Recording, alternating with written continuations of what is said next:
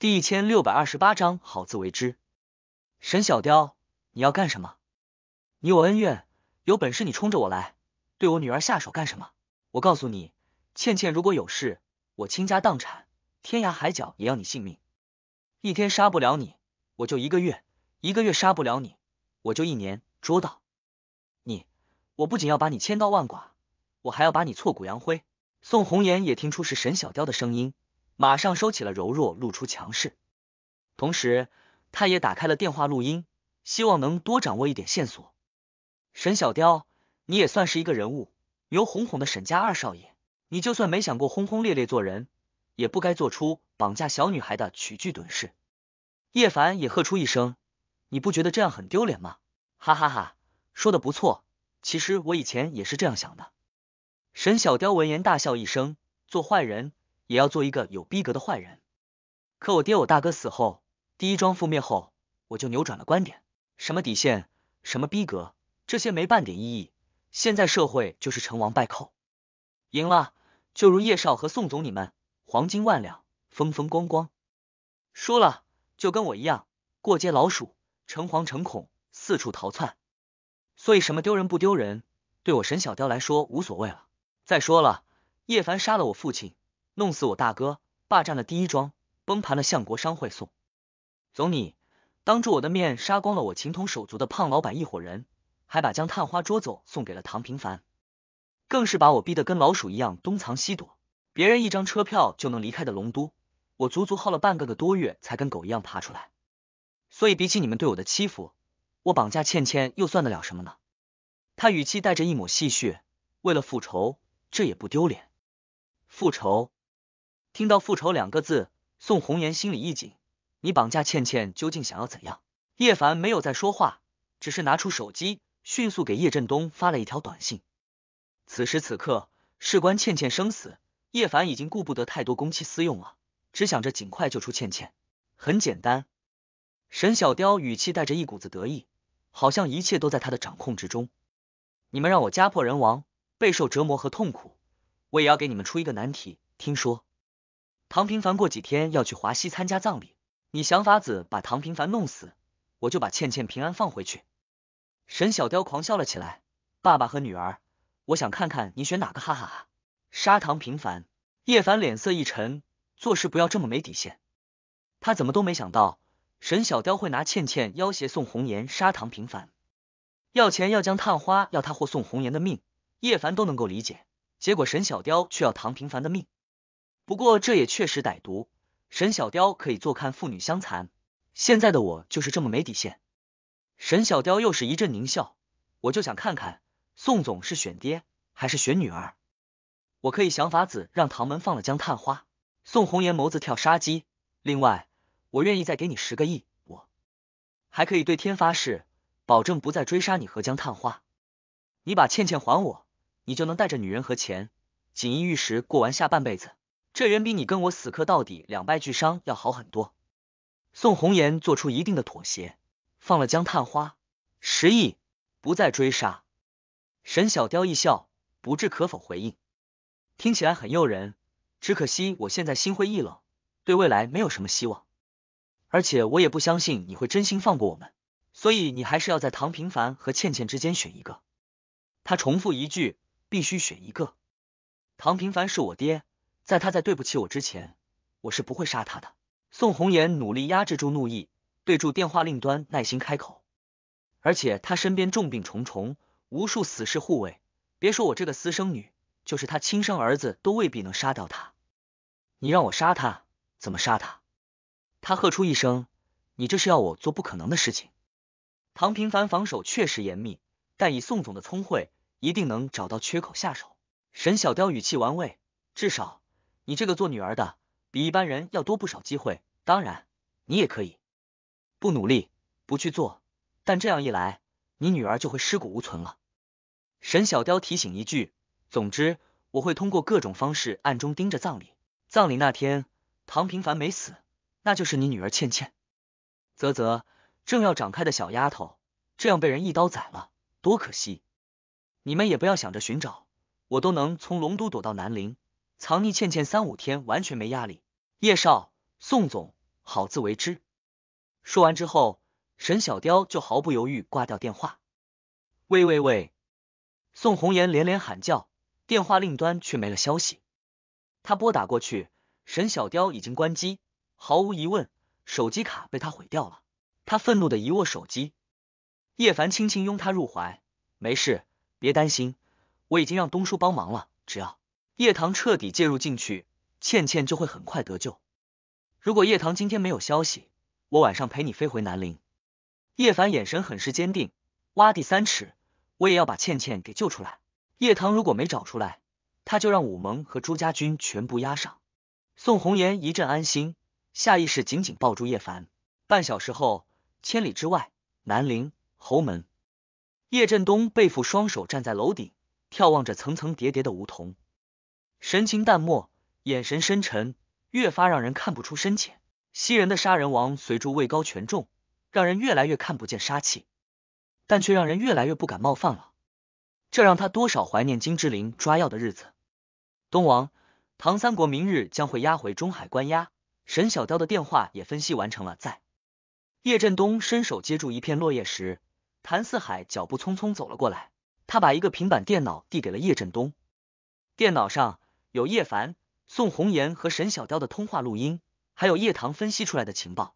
叶振东淡淡开口，确认沈小雕位置了。从他爬出来的字眼以及电话中的声音回响，可以判断他躲在城市下水道。从电话中隐约传来的流水速度以及现在天气能够藏人的支流，可以锁定三十六个。这三十六个支流比较前造，也就比较暖和，藏匿着孩子不会太冷。再从他毁掉手机的号码附近基地台圈定，沈小雕范围应该在这六个下水道。保暖和基地台两个因素叠合的下水道只有三条，东西西河。南沟，谭四海手指点住三个红色圆圈，沈小雕估计就在其中之一。很好，叶振东低头嗅了一下落叶，去拿剑杀人。第一千六百二十九章，有人出卖了你。黄昏，南陵东西步行街。南陵的天气已经很冷了，特别是傍晚，大街小巷更是流着寒意。所以沈小雕把自己包裹的严实。他一边提着一大包肯德基食物。一边听着蓝牙耳机里面的怒吼，沈小雕，你脑子进水吗？谁让你去绑架宋红颜女儿的？熊天俊的声音很是恼怒，你知不知道，这一不小心就会扰乱我们计划。毫无疑问，他已经知道倩倩被绑架一事。我这绑架是好事啊！沈小雕脸上没有半点起伏，声音沙哑住回应，哪怕不能逼迫宋红颜真的下手唐平凡，也能吸引叶凡他们一波注意力。而且唐平凡真出事了，众人也会把宋红颜和叶凡怀疑进去，减轻我们的负担。他用力塞一塞耳机，接着还拿出一个鸡腿啃着。滚蛋！熊天君按捺不住喝出一声。变数，变数，变数，知道吗？现在事情一切朝着我们设定的轨迹前行，只要按部就班进行，就能完成我们的灭唐计划。结果你搞出绑架倩倩一事，明面上来看。他确实对我们计划有利，但你不能保证他会不会引起蝴蝶效应。万一唐平凡知道这一出，心血来潮不去华西呢？万一唐门和武大家感受到凶险，不惜代价梳理整个队伍一遍，把我们妻子揪出来呢？万一叶凡运气好，把你锁定雷霆杀掉呢？这时候，任何变数对我们都是风险。你不知道暴风雨之前，越是风平浪静越好吗？他言语流露着对沈小雕的不满。若非沈半成死了，他多少亏欠沈家，他真不想扶持这沈家最后子侄。别担心，沈小雕啃着手里鸡腿，喷出一口热气。唐平凡一定会去华西的，他也是一个明知山有虎，偏向虎山行的人。没有危险，他可能突然兴趣消失，不参加葬礼。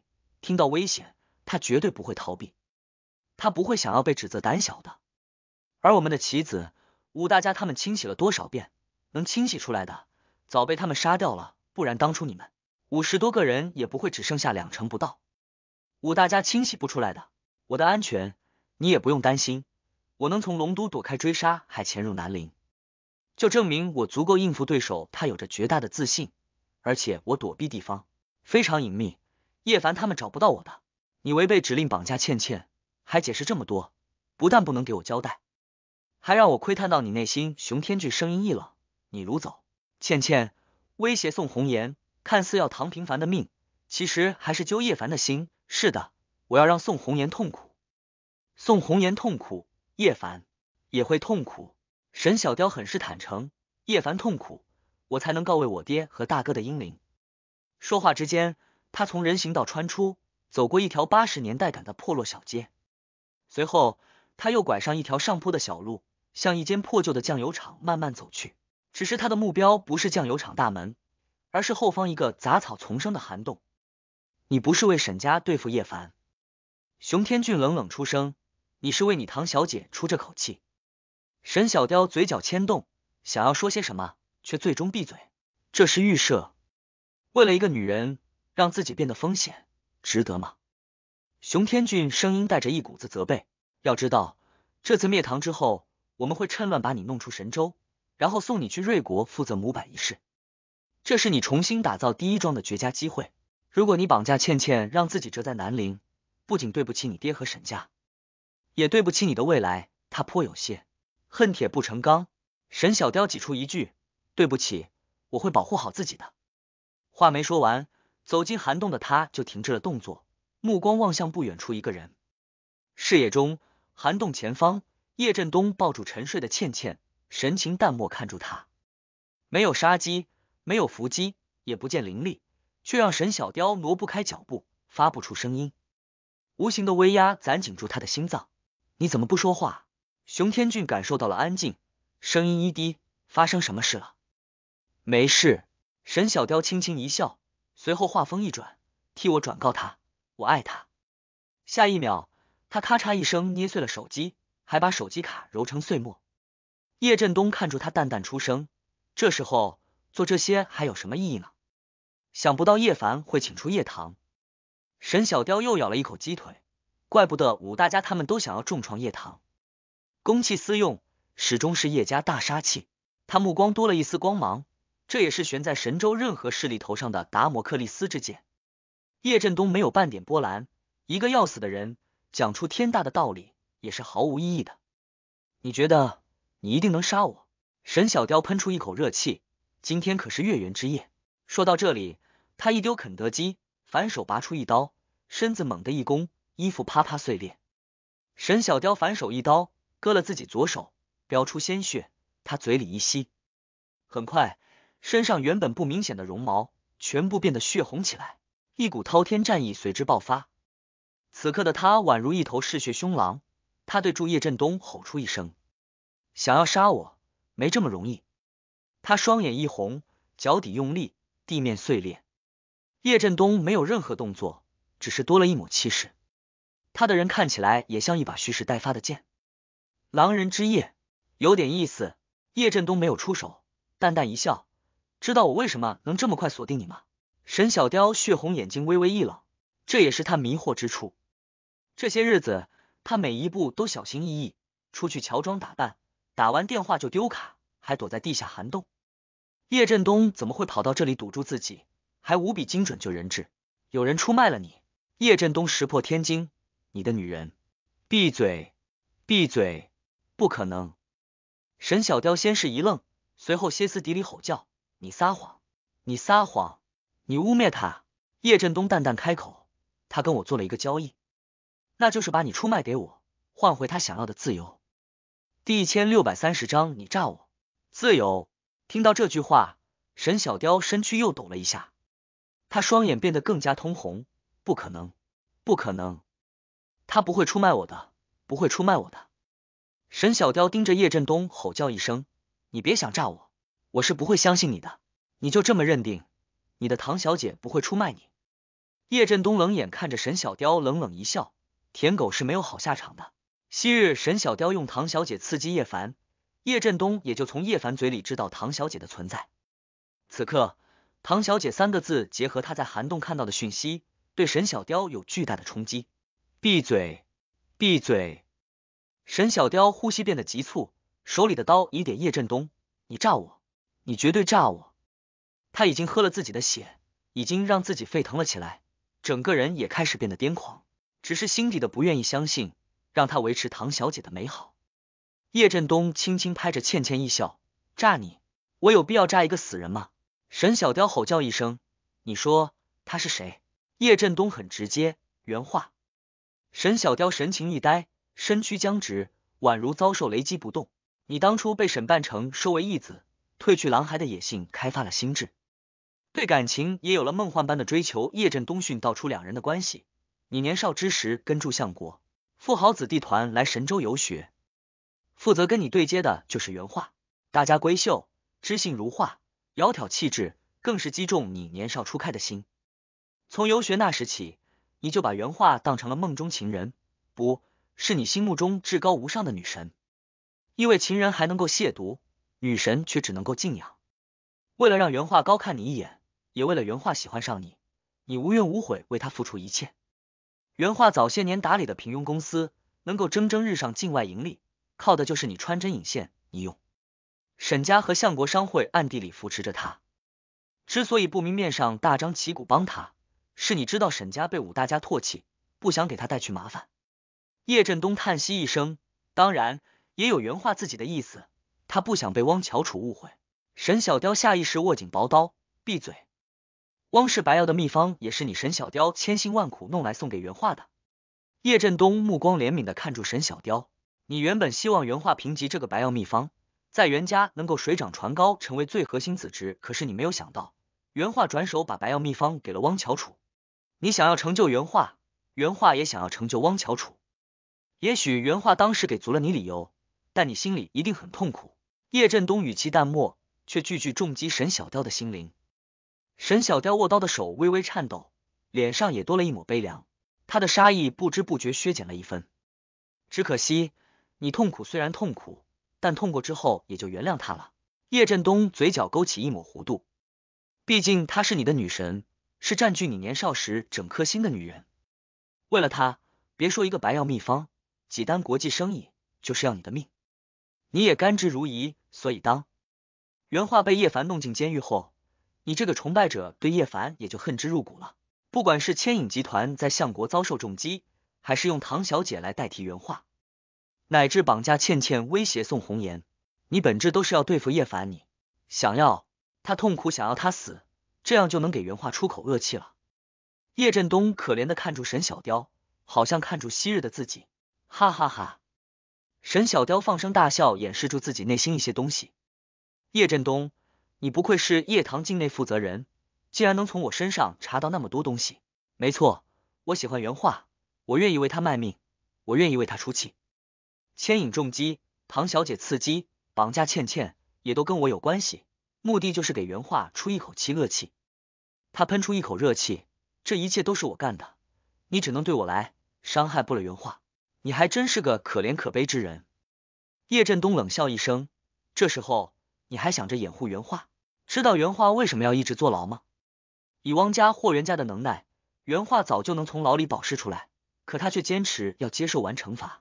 不是他不要自由，而是他要用坐牢的苦肉计，让你这只狗给他卖命咬死叶凡入狱。那一刻起，原话这个聪明的女人就知道他和汪乔楚很难对付叶凡。一不小心就会搭上他和家族或者汪乔楚，所以他要急用其他人的手报复叶凡。你这个实力雄厚的相国第一庄二少就成了他手中棋子。事实也如他所料，你为了给他复仇，不断跟叶凡对着干。叶振东一叹，可惜不但没有给他复仇成功，反让自己一次次处于危险。沈小雕脸色一变，我乐意，你付出这么多，他却觉得还不够。叶振东一笑。当第一当庄毁灭，你被四处追杀时，你在他心中也就成了一颗废子。你绑架了倩倩后，我马上深度查探你的资料，很快挖出你跟原画的关系。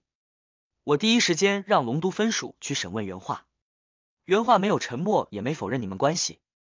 他很直接跟我做了一个交易，他把你在南陵的可能藏身处告诉我，而我用叶棠名义给他自由，不是给汪乔楚自由。我答应了。所以他把东西这涵洞告诉了我。他跟你曾经来过南陵游玩，还一起去了良心下水道参观。回来的时候他扭伤了脚，是你背住他从涵洞钻出来的。那也是你们的第一次，也是唯一的亲密接触。你记得终生。叶振东给予最后一击，因此你绑架了倩倩，很可能就在这东西涵洞。不可能，不可能。听到叶振东这一番话，沈小雕整个人癫狂起来，最后的理智也要失去。原话不会出卖我的，原话不会出卖我的。沈小雕吼叫一声：“你骗我！你骗我！”叶振东，你诈我！他努力说服自己，但叶振东堵在这里，已经能说明他很多事了。他心神大乱，我要杀了你！喊叫之中，忽然间一声锐响，刀锋破空。沈小雕手里的刀，刀光璀璨，刺激着叶振东的眼睛。这一刀的气势，就如荒原之上最凶横的狼王露出的摄人獠牙。吼叫声中，沈小雕那张脸庞也变得扭曲，那双原本血红狠厉的眸子，此刻更是要滴出鲜血一样，身上的绒毛随之也血红一分。杀意由无数鲜血堆积成的杀意，排山倒海向叶振东压了过来。叶振东微微眯眼。当，就这空档，沈小雕连人带刀向叶振东扑了过去，全力以赴，不留后手。这一刀的速度和威力，爆发出了沈小雕的全部潜力。只有杀伐，他才能发泄情绪；只有鲜血，才能让他冷静。狼人遮月，暗无天日。第一千六百三十一章狼国之子。来得好！叶振东看到沈小雕扑来，没有立即出手，而是饶有兴趣看住他攻击。等他贴近自己的时候，他身子一纵，避开了沈小雕一刀。他始终想要看看沈小雕这个狼人的实力，同时他也给足沈小雕同伙时间营救。没有鱼饵，又怎么一网打尽呢？杀！一击未中，战刀再次凶猛压下。沈小雕眼神一片猩红，彻底疯狂，快如电，雷霆万钧。叶振东又一次从容飘飞避开。沈小雕再次向前一步，得寸进尺，攻势骤然间转变，大风大雨，惊涛骇浪，如狂风暴雨，永不停歇。面对发疯的沈小雕，叶振东没有半点波澜，躲避之余，把一堆杂物踢了过去。啪啪啪，沈小雕一脚横扫，砸过去的树木、垃圾桶、杂草全部咔嚓断裂。他气势如虹，压向叶振东。今天不杀掉叶振东，他心里的憋屈出不来。在叶振东又避开他的攻击后，沈小雕身体再次暴起，战刀横挥，刀光霍霍，杀意凌厉，不断扼杀叶振东的生机。当叶振东还是没有出剑，只是拿着剑鞘从容挡击。在落日的余晖中，两道修长身影不断碰撞，拳脚、兵刃互相攻伐，气势惨烈，诡异的达到了一种难分胜负的状态。无数杂物在两人对攻中翻飞出去。四分五裂，呈现出一股狼藉。身手不错，能量也惊人，可惜心神乱了。叶振东挡住沈小雕攻击，该轮到我了。说完之后，他身子一转，一脚踹中了沈小雕腹部。沈小雕闷哼一声，翻滚出几米，腹部疼痛，却完全没有在乎。杀杀杀！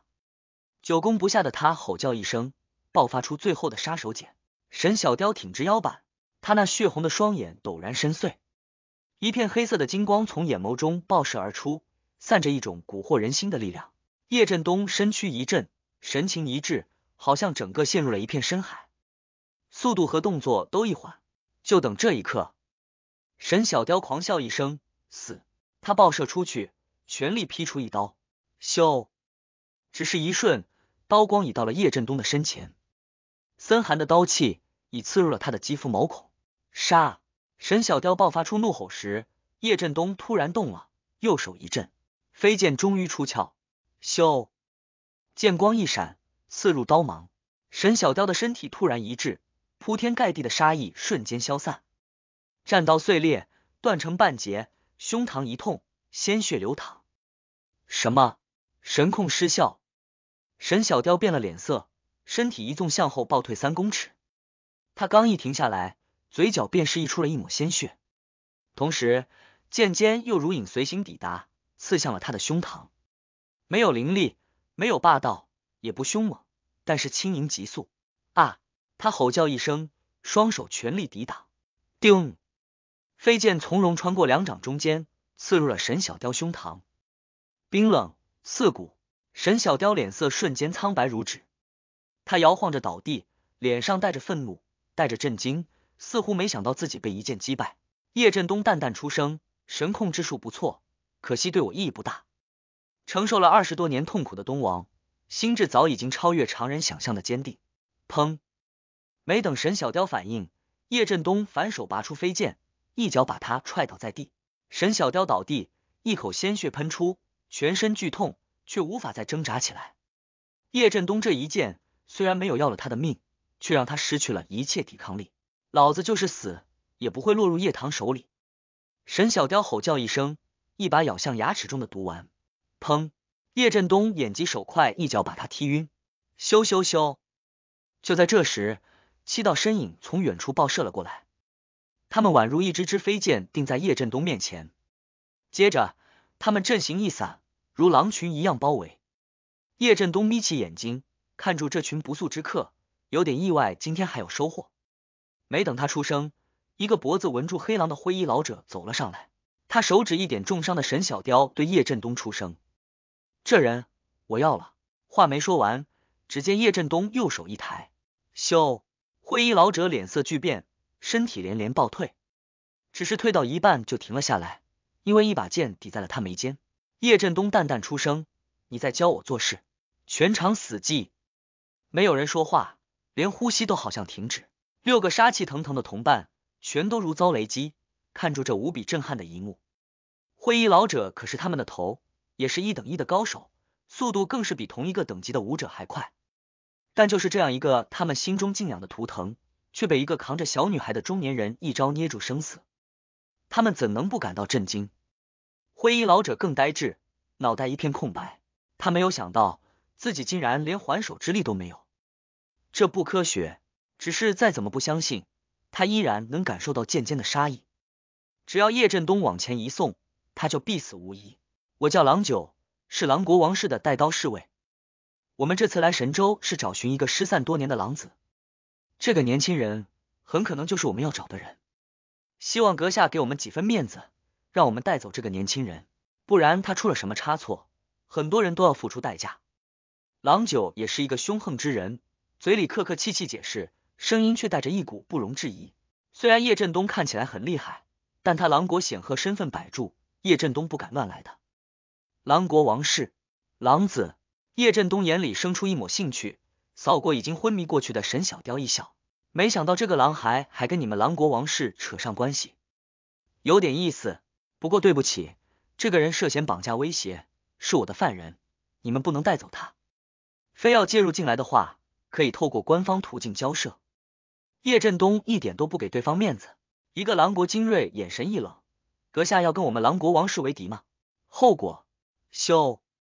话没有说完，一枚飞剑洞穿了他的喉咙。叶振东冷冷出声：“让你说话了吗？”你！狼国精锐身躯一晃，眼睛瞪大，手脚晃动，缓缓倒地。狼七脸色巨变：“你敢杀我们的人？”他眼里掠过一抹杀意。叶振东淡漠出声：“一个不够。”其余狼国精锐勃然大怒，欺人太甚。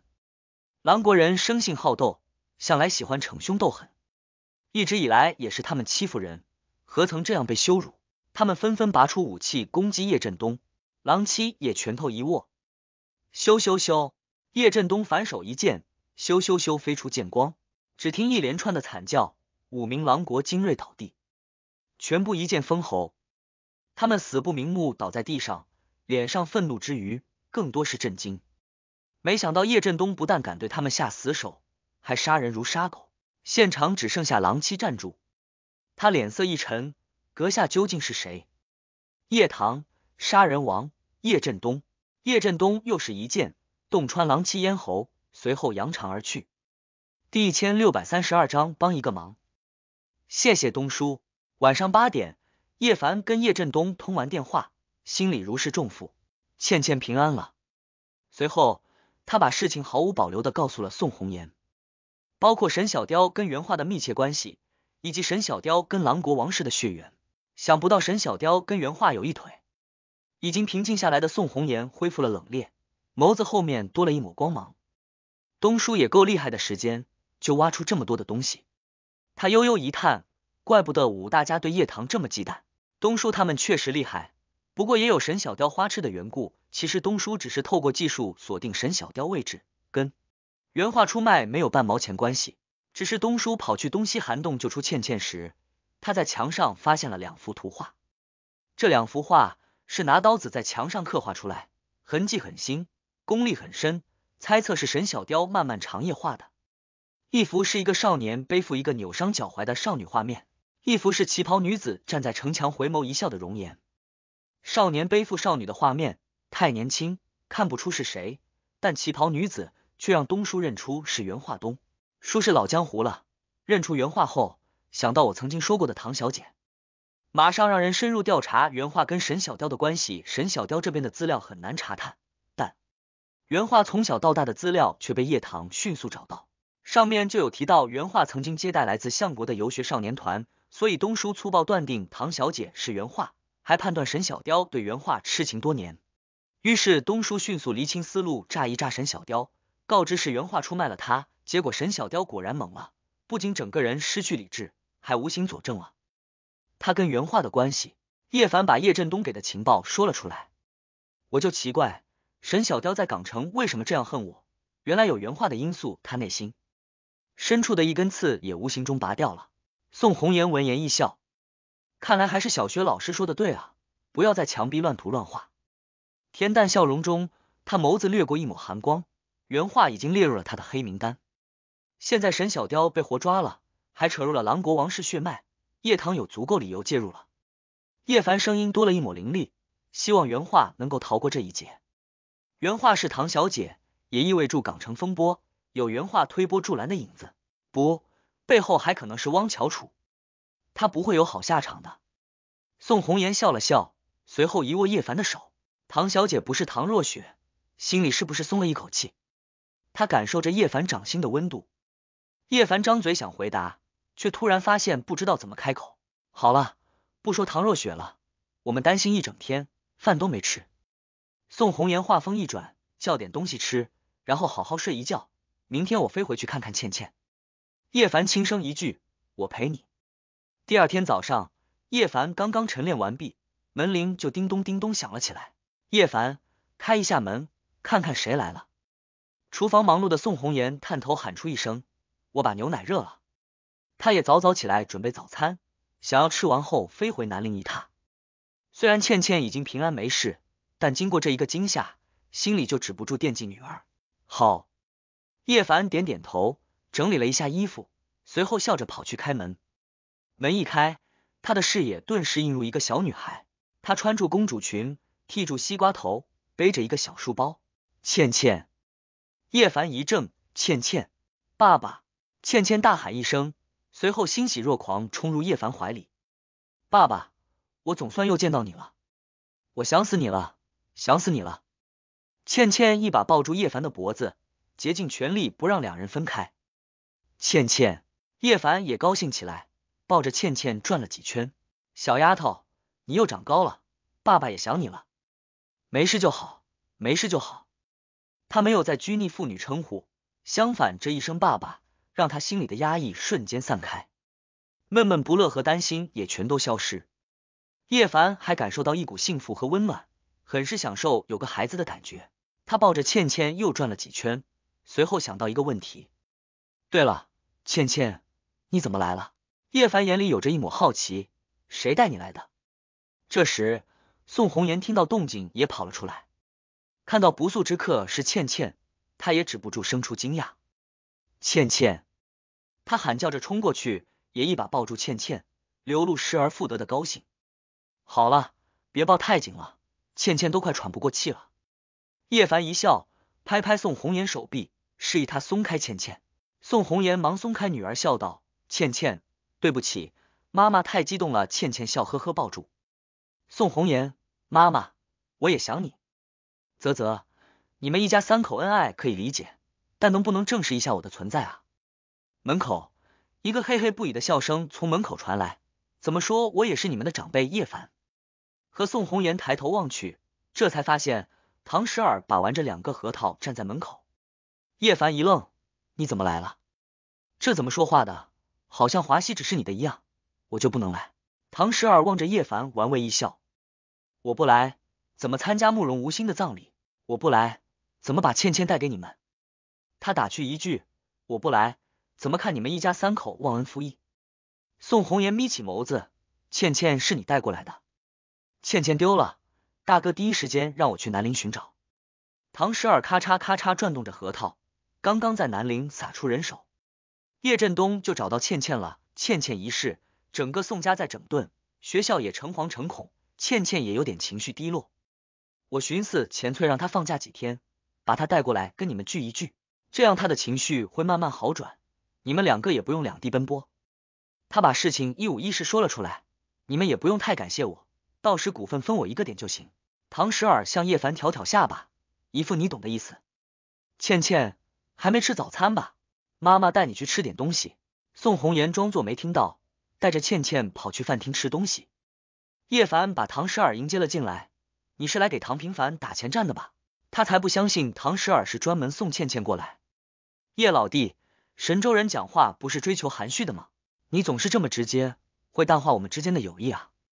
唐十二白了叶凡一眼，随后掏出一台平板电脑递给叶凡，这是叶振东要我带给你的平板电脑，他说里面有绝密资料，只有你可以看的。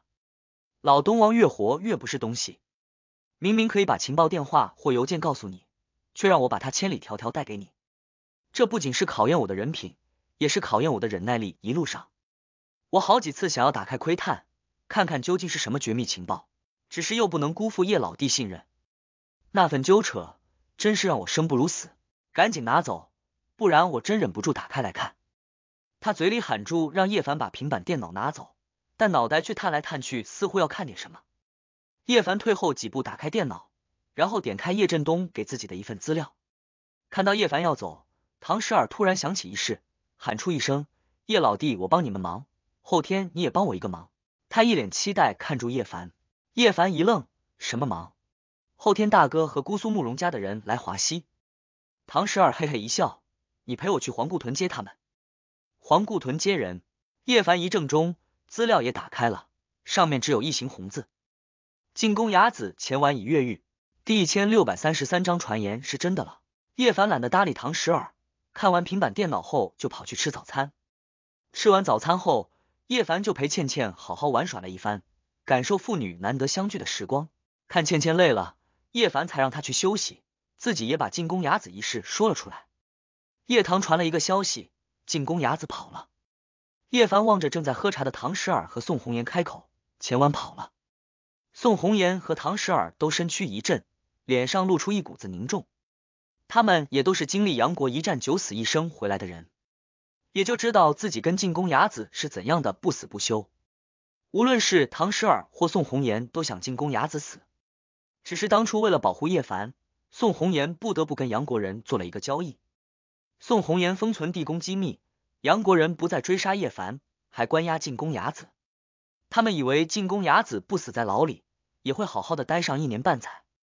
结果没几个月，他就跑了。唐十二皱起眉头，他是怎么逃出来的？他自己是逃不出来的。宋红颜端起茶水喝入一口，他已经看到了事情的本质。只有杨国人睁一只眼闭一只眼放水，进宫雅子才能从关押的地方跑出来。看来杨国人又欠揍了。杨国的九死一生，让他对杨国人充满了杀机。奶奶的，杨国人做事一如既往没节操，怪不得别人说他们签过的字不过是厕所里的纸。唐十二对住宋红颜喊出一声：“侄女，你手里不是拿了不少？”地宫原始资料吗？拿出来，拿出来，捅出去，给杨国一个重击。当初兵荒马乱，众人只顾住逃命，唐十二也是这样。唯有宋红颜抱走一大堆地宫资料。宋红颜轻轻摇头，还不是时候。现在杨国人没有公布进宫牙子逃出来，我们也没有实质证据表明他脱身了。这时候我们先把地宫资料公布出去，就等于我们先违背了双方的协议。这样一来，有理的我们反倒变成没理了。到时杨国人不仅名正言顺宣告释放进宫雅子，还会指责我们言而无信，进行全面报复。宋红颜看得很是长远。唐十二抬起头，那我们就把地宫资料全丢出去，让杨国人遭受全世界的舆论指责。而且那几个实验体的事情公布出去，马上就会有国际裁决所进驻调查。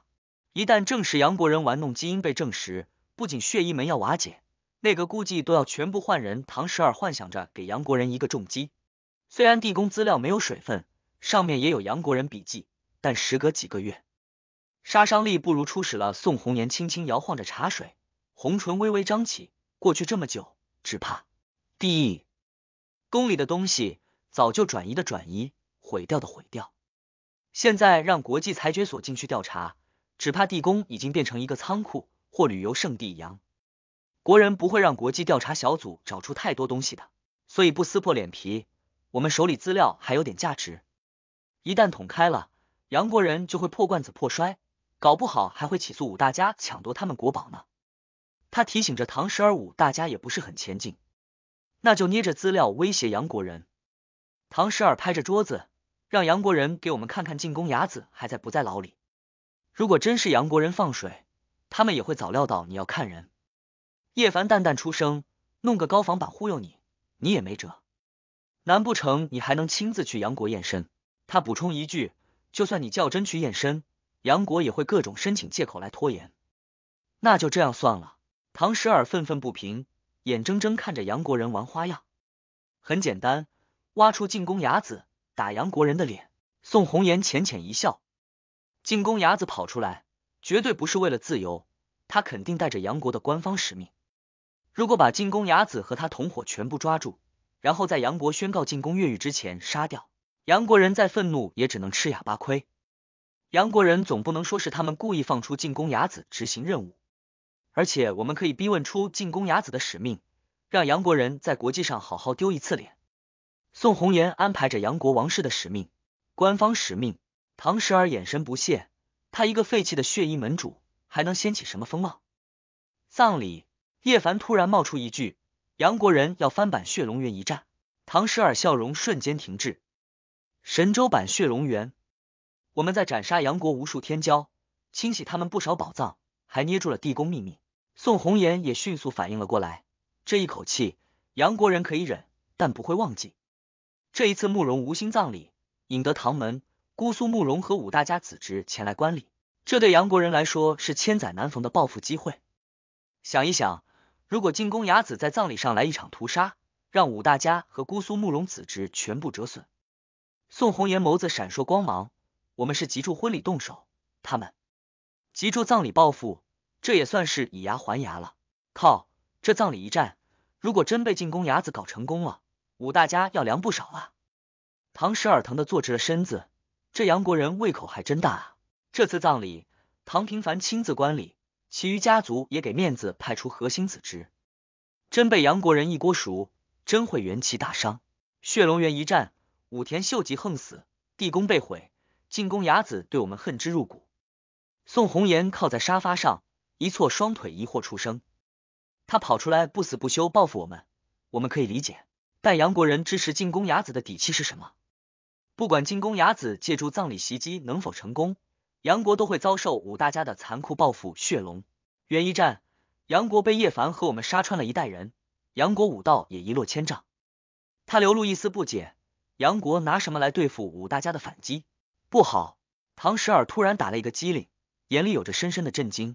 那个传言可能是真的了。叶凡皱起眉头，什么传言？天葬突入天境了？第一千六百三十四章胃口太好。唐十二很早就收到天葬突入天境的传言，只是他一直没有放在心上。他不算顶尖的武者，但知道突入天境何等困难，不亚于空手攀登珠穆朗玛峰。现在结合杨国人举动进攻雅子越狱，唐十二意识到传言的真实性，这让他变得凝重起来。如果天葬大师真突入天境，杨国人被打断的脊梁就等于接回来了，葬礼也充满了凶险。聊到这里。他匆匆喝完茶水，然后就离开了总统套房。他要去跟唐平凡汇报此事。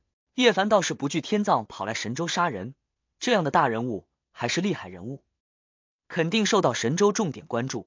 天葬跑来神州，自有人对付他。倒是进宫雅子让叶凡感觉到一丝危险，他第一时间通告叶氏阵营众人，让白如歌等人加强防护，出入小心。金志玲也加强了防备。慕容嫣然也被叶凡叮嘱一切小心，要警惕杨国人混入进来搞事。同时，他让蔡灵芝派人查探进宫伢子行踪，看看他有没有潜入神州。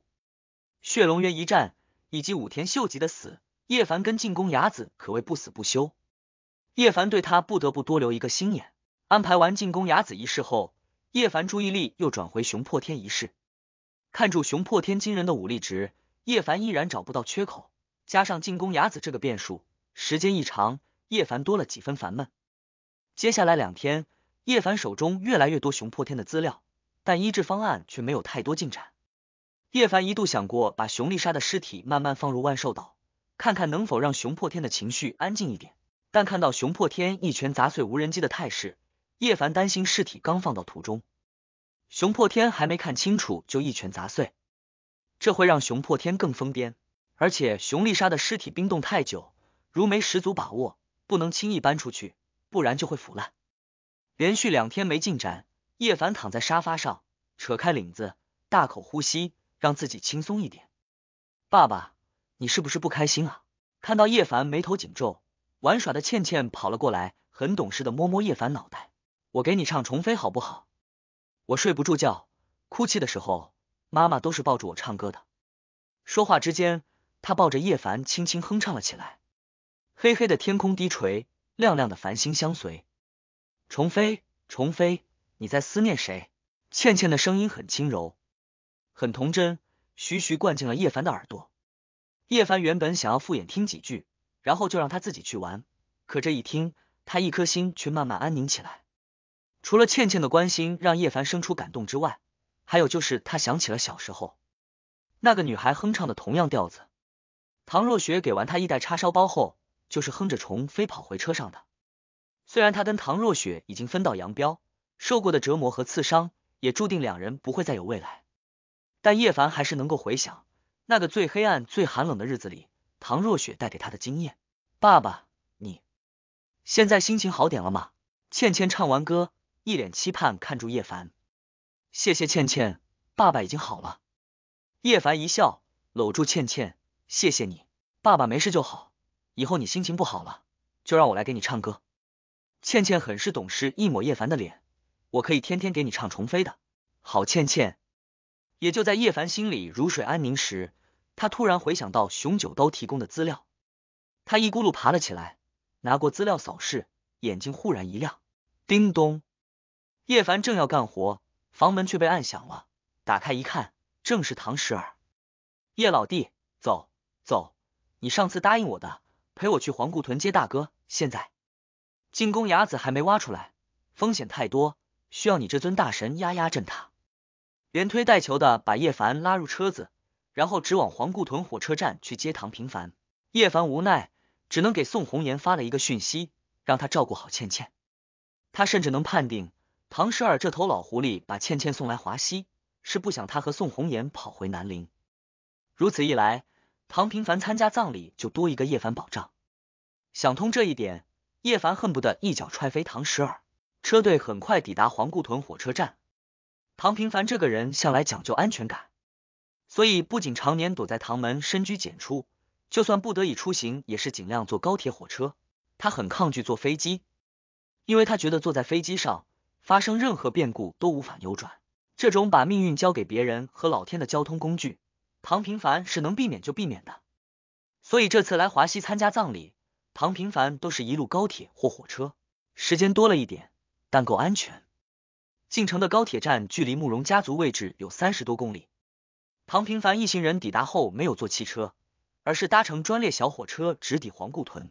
这样一来，距离就剩下七公里，不仅可以少受颠簸，还能减少危险。到了，到了！从饭店出发十几分钟，车队就抵达了几十年历史的皇姑屯火车站。唐诗尔一边喊住，一边拉叶凡出来。这是一个小火车站，它位于黄泥江古桥的一侧，毗邻码头，还驳接郊区高铁站，位置优越。它曾经是运输矿产资源的一条重要支线，资源挖完后，它就变成了看油菜花、看黄泥江古桥的观光线。不过这一个星期，这条线路和火车被唐门包了下来，专门运送唐平凡和武大家的人。为了安全，三十多公里的线路，武大家不仅安装了摄影机、无人机，还安排了人手保护。所以叶凡钻出车门的时候，视野基本上就是戴着墨镜的黑衣猛男。偶尔有几个工作人员和清洁工走过。呜，叶凡没有等太久，一列红色火车就开了过来。火车入站停下，车门打开，钻出持枪保镖，接着又是武道高手显身戒备，最后才是五大家的重要人物显身。十几号人中，叶凡辨认出唐平凡、郑乾坤、汪三丰、袁辉煌四人，其余则都不认识。叶凡本不想在意那些陌生人，但目光还是落在一个四十多岁的中年人身上。那人一公尺六左右，脸庞浑圆，肤色发白。挺住个大肚子，他长得很有富态，给人一种面善心慈的感觉。但他偶尔瞪起眼睛时，就会有血红的两道金光射出，这时他那张脸宛如变魔术似的，一下狰狞非常，让人不寒而栗。唐平凡跟他走得很近，但其余保镖却跟对方保持距离，似乎中年男子身上留意住某种让他们不安的气息。大哥，老汪，你们来了。这时。唐十二哈哈大笑一声，迎接上去，一路辛苦了。叶凡也跟住上去打招呼：“唐先生，郑先生，你们好。”叶少又见面了。唐平凡对自家弟弟微微颔首，看到叶凡却是热情一笑：“叶少这么忙，还百忙之中来接我们，真是过意不去啊。”郑乾坤也哈哈大笑：“叶老弟，好久不见啊，每次见面你都胖了。”汪三丰也附和着笑道：“叶凡年轻。”胃口好，吃多了胖点很正常。两个老狐狸一语双关，打趣着华西利益被叶凡吞了，怎能怪叶凡呢？袁辉煌给叶凡辩解一句：“这是你们自己牙口不好，同样一块肥肉，你们不止咬不动，还崩掉牙齿。而叶凡能一口吃了个前进，你怪人家牙口好吃太胖。”他拍拍叶凡肩膀一笑：“叶凡，别理他，牙口好不好，能吃多少，各凭本事。”叶凡大笑一声：“各位，没事，我留了一锅汤。”郑乾坤故意板起脸：“一锅汤不够，还要一碗米饭。”众人闻言哈哈大笑起来。傅白中年人却没有笑，只是眯起眼睛审视叶凡，还充满着一抹敌意。好了，这里风大，先不说了。唐十二笑了笑：“上车，去我安排的唐门院子再说。”他招呼住众人，钻入车里。咻！就在这时。一个正在清理水沟的清洁工突然抬起头，他把一个水晶球砸向了唐平凡他们。第一千六百三十五章冲着我们来的，砰砰砰！看到水晶球飞向唐平凡他们，四周守卫先是脸色一变，随后齐齐抬起枪口射击出去。同时，几十名武道高手身子一转，把唐平凡和郑乾坤他们全部护卫在中间。叶凡微微眯眼，也弓起身子准备应战。他没想到真有人对唐平凡下手，只是他也不解，车站被联军掌控，怎么还有杀手混入？轰！念头转动之间，只听一连串爆响，水晶球被无数弹头击中。这一击阻止了水晶球，但也让它轰的一声爆炸，火光冲天，白烟四窜，还腾生一大股粉末。有烟，有爆炸，有毒粉，只是五家护卫没有半点慌张。他们只是阵型一变，退后几米，第一时间戴上面罩和护目镜，枪口依然指向冲过来的清洁工，不准动。唐平凡面前的人墙又加厚了一层，杀杀！面对指向自己的枪口，清洁工没有停滞脚步，一把扯开身上衣服，腰间露出十几枚炸管，他吼叫住向唐平凡和叶凡冲过来。五家护卫毫不留情射出子弹，砰砰砰！一连串的枪声中。清洁工脑袋被打成了筛子，接着又是一声轰的巨响，尸体炸了一个粉身碎骨，地上四处是横飞落下的血肉。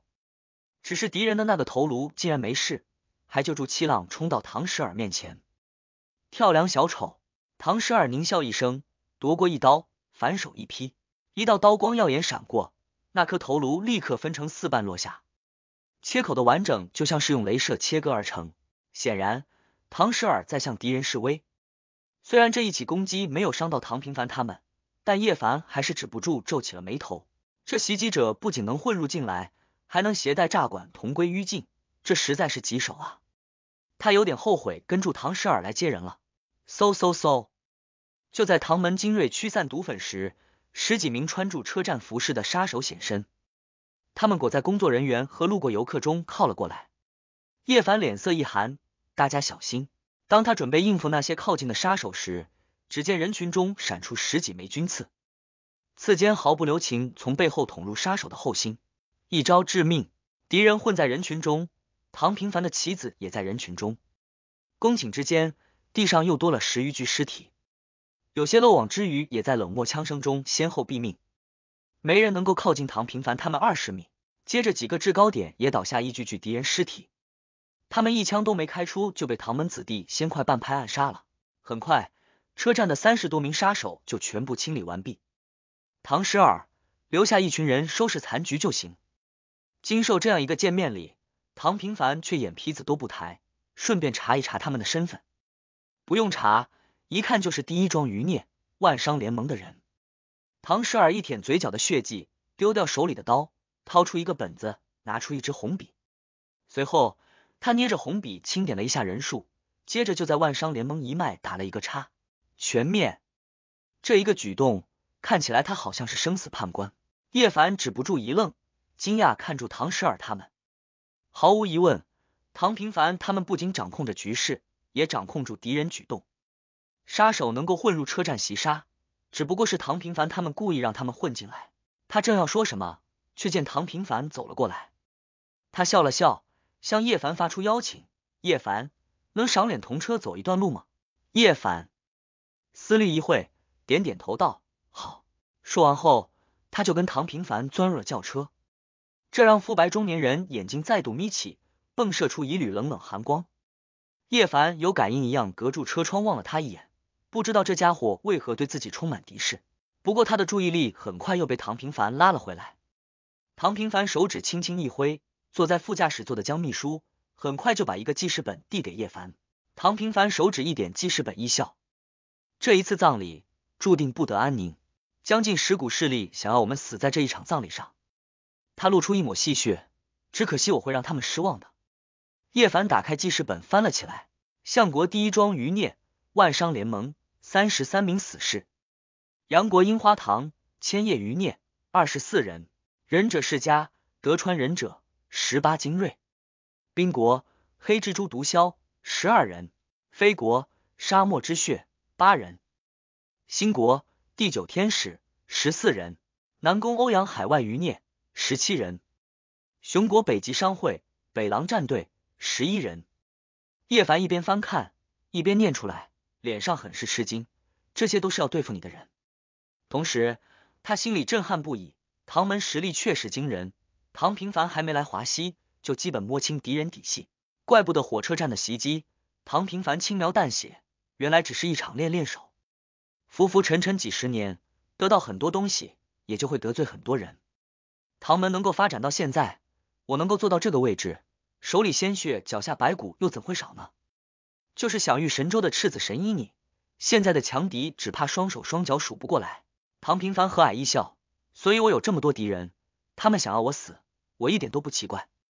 叶凡下意识感慨一声：“是啊，人在江湖，身不由己啊。”一个月前，他根本没想过要来华西，结果如今已成华西局势最关键之人。不过记事本上的敌人，唐平凡一拍叶凡的手，笑道：“与其说冲着我来，不如说冲着我们来的。血龙渊一战，杨国人恨我做局之余，也对你恨之入骨。”毕竟你亲手打穿了杨国天骄，相国股市一战，我带五大家给你砸了五千亿，扭转败局，但你手里也沾染了沈半城一脉的血。华西易主，南宫和欧阳落幕，严重损害了北极商会利益，你自然也是他们眼中钉。他们恨我，也恨你，不是对我们一起杀之而后快。因为在这些人眼中，是我唆使你冲锋陷阵，也是我关键时刻给你支持，我就是。一个躲在你背后推波助澜的坏老头，特别是你跟红颜走在一起，我将会成为你未来老丈人。将来你我如果密切联手，只怕再无势力可以对抗，更别说他们报仇雪恨了。所以这次慕容无心的葬礼，是他们阻拦我们未来联手的机会。昔日血海深仇，将来利益衡量，都注定进宫伢子他们要不择手段杀掉我。当然，有机会也会对你下手，只是你身手太高了，他们很难要你命。加上你倒下了，我很可能再扶持一个叶凡，所以他们最终决定集中精力往我身上招呼唐平凡，看得很是透彻，干掉了我，再来干掉你。叶凡看住记事本，微微沉默。虽然他很不想承认，也不想跟唐平凡为伍，但不得不说，很多事情，很多利益双方已经绑在一起。特别是杨国血龙渊一战，相国股市一战，落在他人眼里，他和唐平凡就是最亲密的战友。这华西一行可谓是凶险重重啊！唐平凡跟叶凡推心置腹，对自己处境非常清楚，知道如此凶险，你还来参加葬礼？叶凡淡淡出声，为了一点名声，拿自己老命对赌，不值得啊！就在这时，唐门车队忽然退下来，相隔两三秒，车子的对讲机传来唐十尔的声音：“大哥，主干道发生九连环车祸，完全堵住了。”唐十尔呼出一口长气：“我们要改道了，不然要等个把小时。”黄泥江的风徐徐吹过，叶凡突然感觉到了一丝秋冬的凉意。第一千六百三十六章激烈交战。叶凡，你说咱们要不要改道？唐平凡没有直接回应唐十二，而是对叶凡慈祥笑了笑。叶凡思虑一会，改道。唐平凡扭头望向了叶凡，要改道的理由是什么？车站袭击刚刚失守，现在前方又出现事故，八成是敌人故意要我们改道。我们改道很容易掉入敌人的陷阱，不如等上个把小时，直通唐门小院。唐平凡的目光带着一抹殷切。你有这个念头，我有这个念头，其他人也都有这个念头。叶凡言语平静，大家都会觉得敌人故意堵住前面，逼迫我们走入另一条小路伏击。敌人也会认为我们不敢走小路，所以我敢推断小径没有伏击，就算有，也不会是重兵，我们足够应付。敌人主力仍在主干道设伏。说到这里，叶凡还望向了前方大堵塞。如果我们真等待前方通车过去，那可真中了敌人的陷阱。一是我们自以为识破敌人阴谋而轻视敌人；二是堵车久了容易心烦意乱，疏于防范。一旦唐门车队被对方找到漏洞，到时来几个车站自杀式的炸管，怕是要死不少人。对叶凡来说，被敌人前后夹击堵在车道，不如冒险走一趟小路。很好，不骄不躁。华西的胜利没有冲昏你的头脑，红颜找了一个好男人啊！唐平凡哈哈大笑一声，随后大手一挥，唐十尔后队变前队改道。明白。唐十儿马上回应：唐轩辕，你带第一组先行探路；汪天策，你带第二组封锁两侧车道，半小时内不准任何车辆通过。郑君临，你带第三组跟我们逆向而上，把前方堵塞中的敌人全部清除。他前脆利落的下令。对讲机很快传来众人回应，明白。没有多久，唐门车队就偏转方向，掉头呼啸驶入两车道，其中两辆车还就地停下来阻挡其余车主。那些车主见到唐门设卡挡路，纷纷表示不满，前方堵住了，还不让人改道，岂不又要塞几个小时？只是他们的愤怒都被唐门子弟手里武器吓了回去。唐平凡这一改道，果然引起主干道不少变故。五七。八辆车跟住掉头，风驰电掣向唐门车队追击。断后的汪天策第二组战队毫不犹豫把他们打成筛子。接着，郑君临他们还在前方主干道两侧挖出十几名狙击手。最触目惊心的是，一辆停在路边的油罐车被发现引爆系统。接收到报告的叶凡不由感慨这些敌人的顽强。同时，叶凡心里放松了不少。前方堵塞的主干道搜出这么多敌人。那就表示自己的推论完全正确，敌人主力集中在主干道，这也意味着改道的危险系数变小。不过叶凡放松，唐十尔他们却丝毫没有大意。虽然只剩下五公里路程，但唐十尔依然放慢车速，同时他派出一队队人手提前查探山丘背面、树林深处、路面破损、光缆入口，唐十尔全部清查一遍。避免被人在地面或管道埋设炸管，他这份细心让叶凡改观不少。这个唐门前代一直给他简单粗暴形象，现在看来只是他想要给自己这个印象。不过往深处想想也是，唐十尔真是马大哈无能，唐平凡又怎会如此器重他？车队开了十几分钟，很快就来到一处僻静山庄，唐门小院四个字清晰可见，正是唐十尔为唐平凡弄来的临时落脚处。看到大门触手可及，众人松了一口气。看来叶凡的改道打乱了敌人计划。呼呼！唐十二正要下令开进去，却突然听到头顶响起一阵轰鸣声。叶凡抬头望去，只见头顶飘来了十二个热气球。热气球各自站着四个人，一个个戴着口罩。血火经验立刻让叶凡绷紧神经，原本松弛的心也瞬间揪紧。他拿起对讲机吼叫一声：“小心！”话音落下，热气球就气势如虹向车队俯冲下来。他们还丢出一个特制的瓦斯罐，瓦斯罐裹着呼啸的山风，如炮弹般轰然砸出，目标明确，直取车子顶端。靠！叶凡脸色顿时大变，当下一脚把唐平凡踹了出去，让他翻入了一束草丛中，同时他也弯腰射出去。接着，叶凡一把扑倒唐平凡，抱着他滚入了一条小水沟。唐十二他们也从车里翻滚而出，轰轰轰！几乎是他们刚离开车子，瓦斯罐就砸中了十几辆车，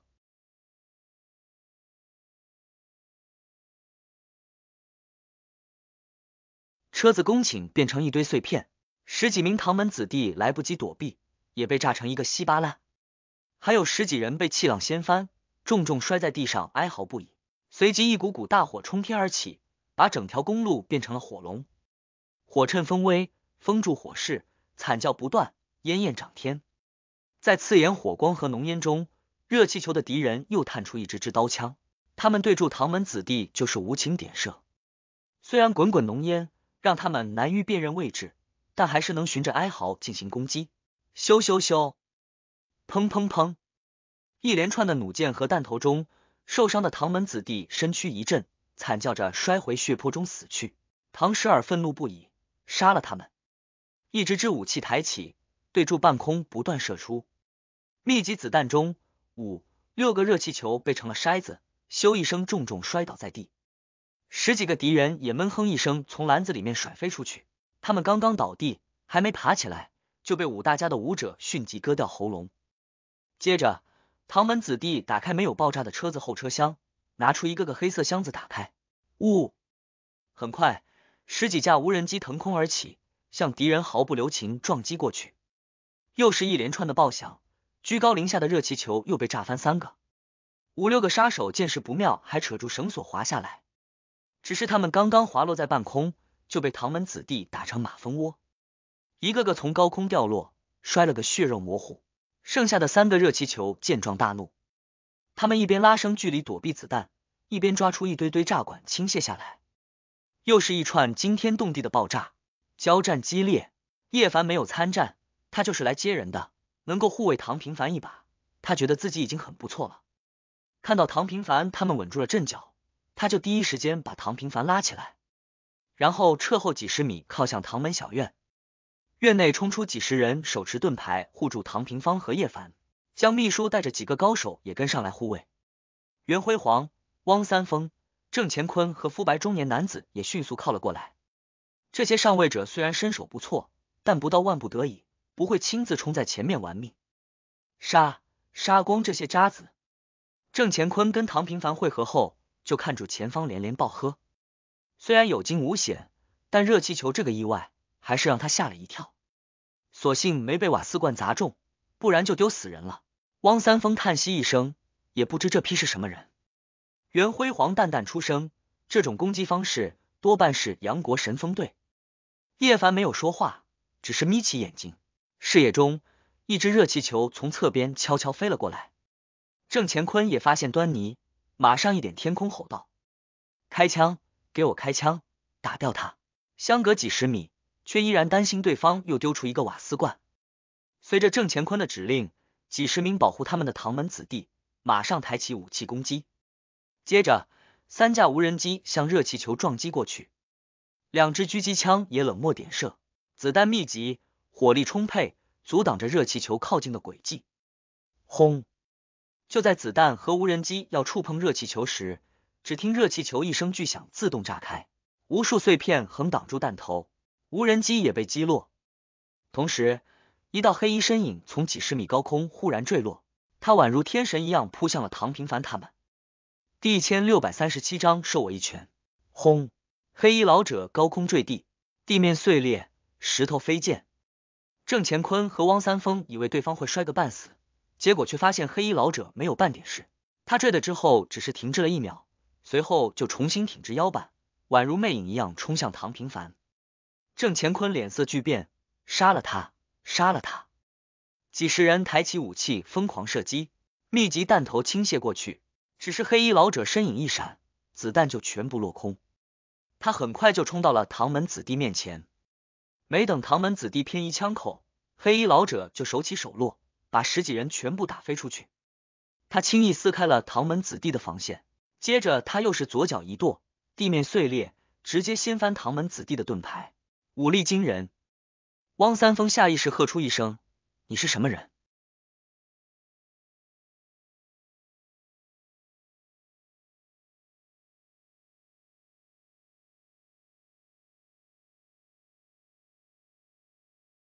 只是丑陋的他，不仅面目让人心惊胆战，武力更是让叶凡都生出忌惮。他本能一扯唐平凡，又后退几公尺。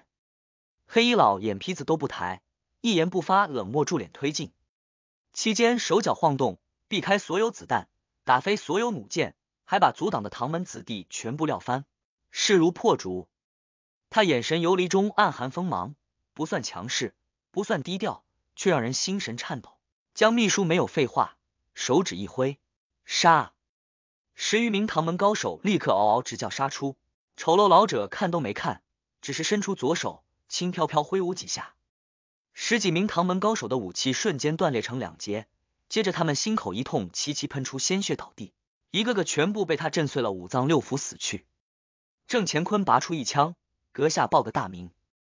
丑陋老者依然没有回应，一步一步靠近唐平凡，杀！看到对方气势如虹，两名正式高手扑向丑陋老者。丑陋老者左手如电，迅猛似风，在空中一探一抓，两名正式高手的匕首就被抓断，他们也被霸道力劲震退数步。但还没稳定身形时，丑陋老者左手一扬，两截断刀如流星般射出，直接没入两名正式护卫的胸膛，鲜血瞬间迸射出来。接着他们就一头栽倒在地上，而这时。丑陋老者已从他们尸体上踏了过去，双手挥舞之间又杀了七八人。一个元氏高手从侧边扑过去，丑陋老者一脚把他踹飞，接着他又一拳打爆一名持枪的汪氏枪手，汪氏精锐瞬间跌飞，喷出鲜血惨死，无人能抵挡。丑陋老者轻描淡写的继续前行，一步一步逼近唐平凡，杀意丝毫没有削减半分。五家高手按捺不住，怒吼一声。齐齐扑击而出，咻咻咻！丑陋老者依然一言不发，双手快速的挥舞，手势玄奥且带着毒辣，一道道凌厉无匹的劲气狂卷而来，他完全不受阻挡般从冲杀人群中走过，无所匹敌。一连串的嗤嗤声音中，五家精锐惨叫倒下，血流成河。咻！丑陋老者很快冲破防线，随后身子一展，恭请出现在唐平凡等人面前。他一手抓出，那种速度简直无法用字眼形容，杀气更是连草木都为之颤抖。但唐平凡依然面色宁静，对住那如疯魔般的一抓，整个人极为稳定的往后退了五步。这个空间刚好让肤白男子抬了上来。他暴喝一声：“风！”一刀从他袖子探出，化作一道战意滔天的光芒。肤白男子硬生生封住了丑陋老者那绝杀的一抓。轰！一道巨响轰然炸开，刀碎，爪势也微微一乱，整个门口一片灰尘弥漫。肤白男子的战刀裂成碎片掉落，整个人也跌飞了出去，撞在盾牌落了下来。尽管肤白男子够强横，但还是无法扛住丑陋老者一击。不过丑陋老者这次也退出了半步。咻！没等丑陋老者反应过来，袁辉煌欺身而上，一拳重重轰了出去。丑陋老者左手化掌为拳头冲了出去，直接跟袁辉煌来了一个硬碰。砰！一声巨响，袁辉煌闷哼一声，也如炮弹一样跌飞。他牙齿一咬，凌空一扭，扑通一声落地。噗！他翻身而起，半跪在地，吐出一口黑血，拳头根柱变成乌黑，俨然中毒了。叶凡脸色一变，恭请客上前，拿出药丸和银针给袁辉煌解毒。他跟袁辉煌交情不错，加上袁青衣的关系，他怎么也不能让袁辉煌有事。丑陋老者也是身躯晃动，手腕一抖，退后了半步。连伤两人，他却只退一步，不得不说够强横。看到袁辉煌中毒，郑乾坤脸色一变，你出手够毒够狠，杀我杨国天骄，毁我百年龙源，你怎么不说够毒够狠？丑陋老者终于沙哑的挤出一句：“犯我杨国者，虽远必诛。”同时，他身上自然而然的流露出一股强大压力。叶凡几个经历太多的风雨和血火，还能表现出若无其事的样子，但武大家的精锐却情不自禁露出痛苦之意。能从高空坠落，还能杀我这么多人？这时，唐平凡淡淡开口：“阁下在杨国不应该是碌碌无为的人。我是谁不重要，重要的是我送你们上路。”丑陋老者金芒一闪，武大家也该尝一尝元气大伤的苦头了。在这一刻，唐门子弟全身汗毛都不自禁的立了起来。他们全都感受到一股凌厉的杀意。你不要说大话了。这时，给袁辉煌治疗完毒伤的叶凡从容不迫走前几步，盯着对方。虽然你很强横，也确实杀我们不少人，但已经没有高空坠落的如虹气势。一是你身手刚刚晋级，还没有稳住境界；二是我们的强大超出你意料，否则你也不会跟我们废话了。以你戾气丛生的性子，真有把握屠戮？只会二话不说屠光我们，他很直接给出一条路，你没把握杀掉我们，那就走吧。面对自己的如此气势，叶凡仍能淡定。丑陋老者凶神不由露出赞许神情，接着他嘴角就勾起一抹笑意，道：“你小瞧我了。”他漫不经心的向前一步，这一步的踏出，杀气狂卷，周围空气中的温度快速下降。丑陋老者神情冷酷，有如煞神，他右手高高举起。摆出一个极为玄奥的起手势，宛如在抚摸一把不存在的刀，杀气漫天。其实这抚刀之势是丑陋老者刻意营造出来的，威势十足。可以想象，当他出手时，定会是威领天下的一击。丑陋老者盯着叶凡出声：“赤子神医，接我一拳不死，我马上走人。”叶凡踏前一步，来，轰！丑陋老者暴射而上，对住叶凡就是一拳。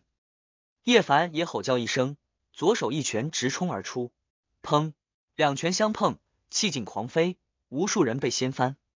袁辉煌他们也噔噔噔后退了几步，叶凡和丑陋老者却屹立不动。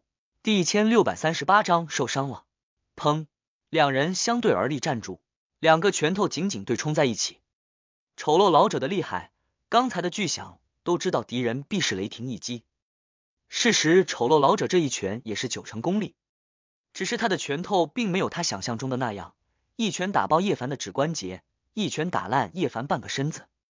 他拳头宣泄出去的力量，从叶凡指关节涌入手臂，很快就变得石沉大海。这一拳好像打在棉花一样，让丑陋老者无比的难受，而且他感觉打出去的力量好像被吸收了不少。怎么会这样？丑陋老者凶光一寒。身体一震，压上最后一成力道，全力宣泄。他渴望看到叶凡手臂变成麻花，想要看到力量穿透心脏。可是叶凡依然不动，安然无恙站在原地。叶凡的眼眸甚至带着一抹疑惑：“老头，你不是要我受你一拳吗？你倒是出力啊！你这个雷声大雨点小的一拳，我都不好意思算你一招占便宜。”叶凡盯着丑陋老头，喷出一口热气。丑陋老者不解。叶凡同样不解，看丑陋老头狰狞的样子，好像要一拳打死他。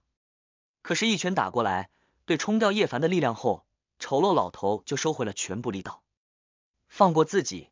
惺惺相惜，实力有限。叶凡一时搞不清对方意思，树子去死吧！丑陋老头声音一沉，随后左手拍出一掌。叶凡见状，也抬起右手封锁，轰！这次碰撞。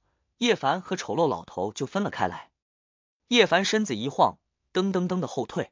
袁辉煌他们发现叶凡嘴角流露出一抹血迹，毫无疑问，他被丑陋老人震伤了。但他们惊讶的不是叶凡受伤，而是叶凡只退了三步。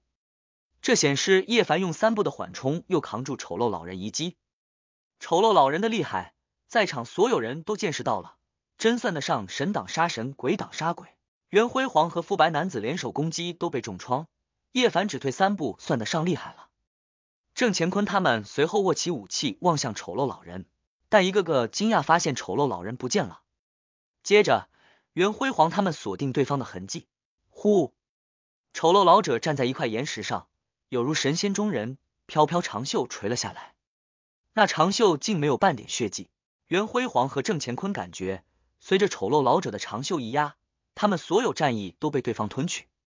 他们盯着丑陋老者的身躯，握武器的手紧了又松，紧了又松，最后一个个颓然的叹了一口气。他们找不到丝毫出手的空隙，而且一旦攻击，丑陋老者可能会撕毁对叶凡的承诺。袁辉煌还喝出一声：“大师，你说叶凡受住你一拳，你今天就滚出这里。现在叶凡受了你一拳一掌。”他还安然无恙，你还不践行承诺？你真食言的话，我们不介意不惜代价把你留在这里。说话之间，他打出一个手势，唐门小院又闪现十几支狙击枪。唐十二也解决前方敌人，带着大部队返回门口。无数刀枪严阵以待。唐平凡始终波澜不惊。赤子神医，恭喜你！丑陋老者没有在意袁辉煌的话，也无视近百人的武器。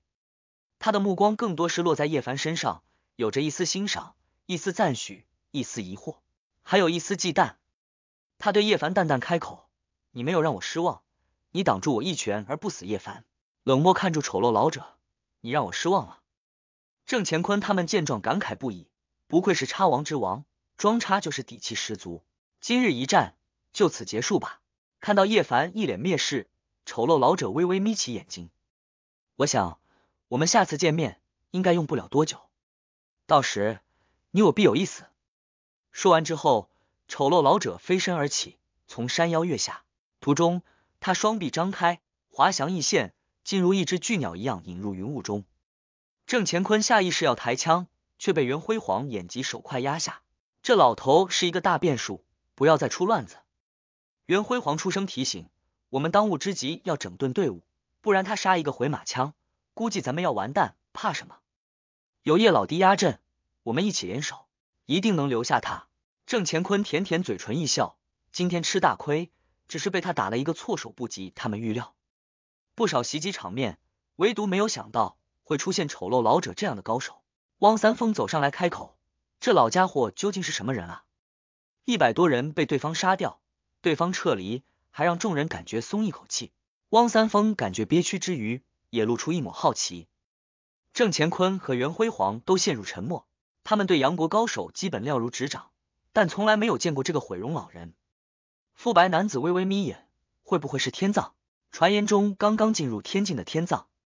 杨国这几十年被叶棠和我们打穿两次，厉害一点的武道高手基本上都陨落了，就剩下一个深居简出的天藏还有点杀伤力。他给出一个判断，也唯有天境高手能让我和袁辉煌这样狼狈了。不可能！郑乾坤毫不犹豫摇头。老家伙虽然厉害，但不可能是天境高手。真是天境高手，叶老弟怎么可能拦得住？你看，老家伙牛哄哄对叶老弟轰出一拳一掌，叶老弟退了几步就屁事都没有。他顶多比叶老弟高一点点，撑死就是的境大圆满中期。而且天葬大师我看过，风度翩翩，宛如神仙，哪有这样丑陋？郑乾坤振振有词。而且他也不屑用毒。被郑乾坤这样一说，袁辉煌和肤白男子他们又下意识点点头。是啊，如果对方真是天境高手，全力一拳早把叶凡打穿了。结果出了一拳一掌都没伤到叶凡，天境的锤子。叶凡怎么样？有没有事？这时，唐平凡不顾众人保护，从后面快步走向叶凡。在袁辉煌他们说话这段时间，叶凡一直如标枪一样站住。气势丝毫不减，只是温润的脸上一层层变红。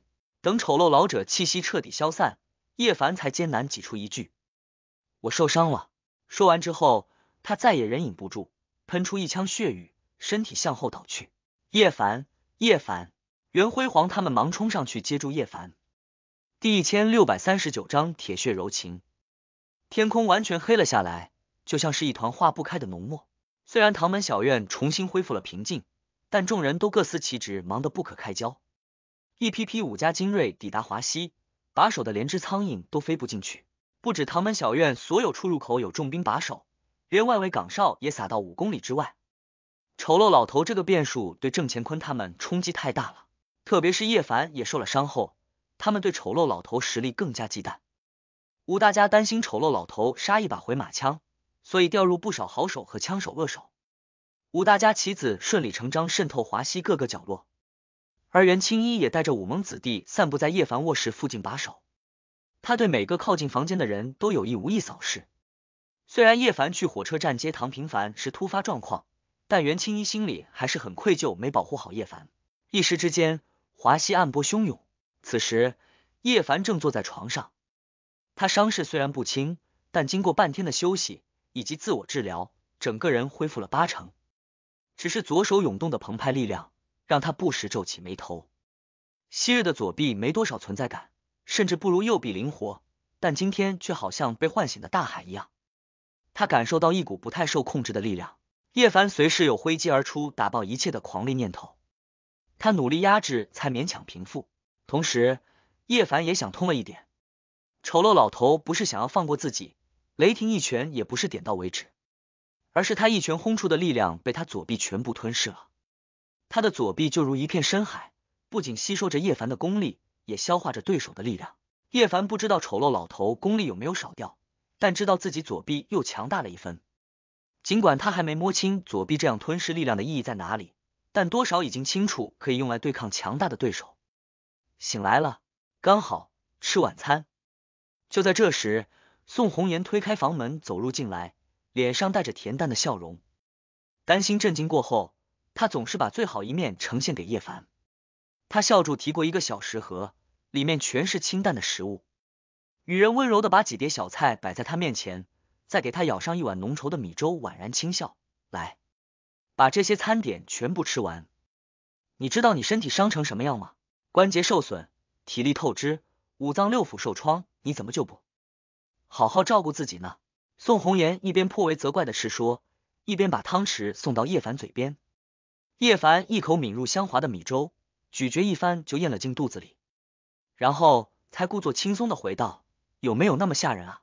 我虽然被丑陋老头震伤了，但情况还是可控。”叶凡安抚一声：“所以你别听医生们胡言乱语。”宋红颜眸子一瞪，叶凡恨铁不成钢的回道：“你当那丑陋老头的一拳好受啊？袁辉煌和慕容无情到现在都还躺着，你不是答应我照顾自己吗？不是答应我不会轻易冒险吗？怎么去火车站接个人，把自己差点折进去了？”他止不住一捏叶凡腰肉，他们又不是冲你来的，见势不妙跑路就是。即使叶凡要保护的是唐平凡，宋红颜也更希望叶凡平安无事。见到女人掩饰不住的关怀眼神，叶凡心里闪过一丝愧疚。红颜，对不起，都是我的错，让你担心了。你放心，我下次保证不会当英雄，有事我会马上跑路。叶凡握着女人的手一笑。当然，如果是你和倩倩有难，我就是打死也不跑。女人总是吃软不吃硬，被叶凡以退为进的认错后，宋红颜打开叶凡的手，随后他把一口粥喂进叶凡嘴里。语气就变得缓和下来。其实我知道你的性格，别说唐平凡是我爹，就算是一个外人，你也不会眼睁睁看着他被杨国人杀掉。他很是纠结，但见到你的伤，我就止不住害怕。当初港城的缆车一跳，让他无比惧怕失去叶凡。叶凡再次轻笑开口：“没事，至少我现在还活着，而且有你照顾，我会很快就恢复的。”他流露出信心，最多一个晚上，我就生龙活虎了。宋红颜哼了一声，我才不信呢，真的没事，你看看，强壮的能打死一头牛。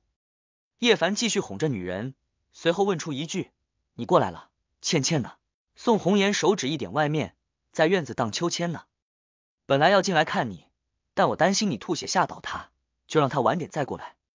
他声音一柔，倩倩听到你受伤昏迷，一直喊着要给你唱重飞呢。叶凡温柔一笑，真是好女儿。不还有个好女人，有了这些甜言蜜语，宋红颜算是散去残存的火气。他小家碧玉般的为叶凡喝粥，偶尔还会把热气吹走些许。这个世界能让他送红颜喂粥的男人，有且只有一个。也许是真的饿了，叶凡风卷残云般扫光半锅米粥和三个小菜。人吃饱了总是比较精神，所以叶凡拿纸巾擦拭完嘴后，就向宋红颜出声问道：“对了，外面情况怎样？”唐平凡回去没有？他追问一声，有没有丑陋老头的讯息？乱成一锅粥，不过还在唐门掌控中。宋红颜显然早猜到叶凡会问起局势，所以做足功课的他毫不犹豫回应。唐平凡没有回龙都，一是现在华西混乱，他这时回去反而会危险；二是他这个身份和地位，被几个宵小袭击一番就跑回去，老脸挂不住。丑陋老头没有消息，散出去的探子没有捕捉到他行踪。不过唐门小院已经启动一级战备，武大家的精锐也开进了进来。他想要杀进来不是一件容易的事情。他掏出一张纸巾给叶凡轻轻擦拭嘴角。只是他的身份成谜，他的实力和战意容易让人觉得他是天藏，可我们掌握的天藏资料又跟他一点都对不上。而且天境高手应该不会这么低级，毁掉容貌前来袭击你们。天境强者讲究的是一人敌一国，战战堂堂正正名震天下。不过我已经把他情报和画像汇总传给秦无忌，他对杨国了如指掌，看看有没有丑陋老头的线索。宋红颜手指落在叶凡脸上。眸子多了一丝担心，只是这段日子你要小心。放心，我能照顾好自己的。叶凡话锋一转，葬礼依旧举行。没错，宋红颜轻轻点头。不过唐平凡提前了一天，明天中午下葬飞来峰。下葬完毕，他们就会连夜赶回龙都。他补充一句，这倒不是畏惧，而是他们准备报复杨国。叶凡微微惊讶，明天就下葬，他要扰乱敌人节奏。宋红颜向外面偏偏头，明天飞来峰，怕是又要血流成河了。再多的血，我也不会让他溅到你身上。叶凡捏着那精致的下巴，吻上了那片唇，风雨飘摇，也挡不住男儿的铁血柔情。第一千六百四十章前老丈人。叶凡身体恢复不少后，就给袁辉煌和慕容无情几个治疗一番。他让这些人伤势尽快好转，这样不仅能参加葬礼，还能更好的自我保护。他可不想袁辉煌出什么事。慕容无情原本对叶凡充满了敌意，但经过丑陋老人一战，态度缓和了一些。叶凡也知道他对自己不满的原因，那就是华西慕容本是姑苏慕容的碗中的肉，结果被叶凡抢走吃了。相较于姑苏慕容期望的利益，叶凡瓜分出去的难于满足他胃口。叶凡也没有太在意，他对慕容无情救治纯粹出于对抗丑陋老者需要。慕容无情不招惹他。他也能客客气气。如果慕容无情搞事，叶凡也不介意教训他。治疗完慕容无情后，叶凡又给袁辉煌细心诊治，还把剩余毒素清除前进。接着又给他端来一碗中药。袁辉煌的情况很快好转。他端起中药，轻轻吹了吹。叶凡，谢谢了。今天一战，大家都受创不小，叶凡也一度受伤昏迷。结果叶凡醒来稍微好转，就劳心劳力给他们治疗。向来自傲的袁辉煌对叶凡又多了一份感激。咱们是兄弟，说这些就客气了。叶凡大笑一声，何况还有青衣这一层关系。青衣换了一个人似的。听到叶凡说起袁青衣，袁辉煌脸上多了一抹柔和。以前的他虽然倨傲高冷，但眉间总是存着忧郁，心里也藏着事。这二十年来，我就没见过他真正的、纯粹的情绪，就是哭，就是悲。他也给人一种麻木、虚假的态势，但这几次见他，特别是这一次，我感觉他鲜活了。无论是听到你受伤的焦急，还是听到你没大碍的欣喜，都是发自内心的流露。如果说你让青衣焕发第二春，可能有点暧昧，但你让他重新活过来，却是没有水分了。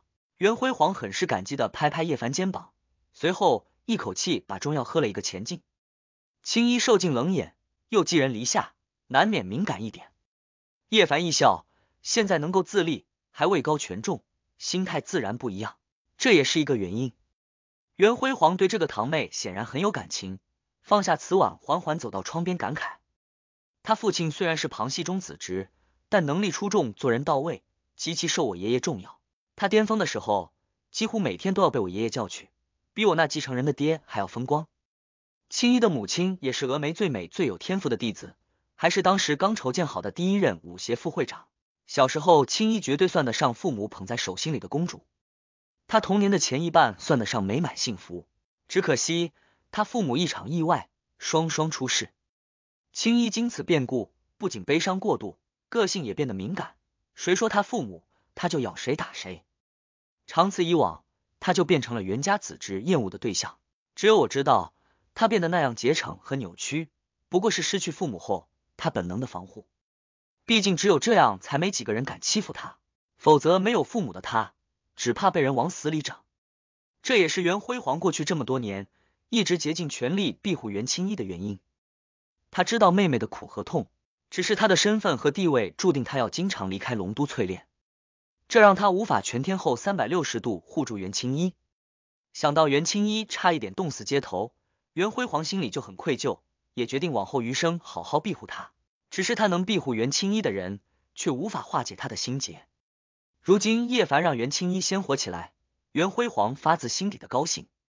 事情都过去了，青衣现在走出来了，也好起来了，你也不要惆怅了。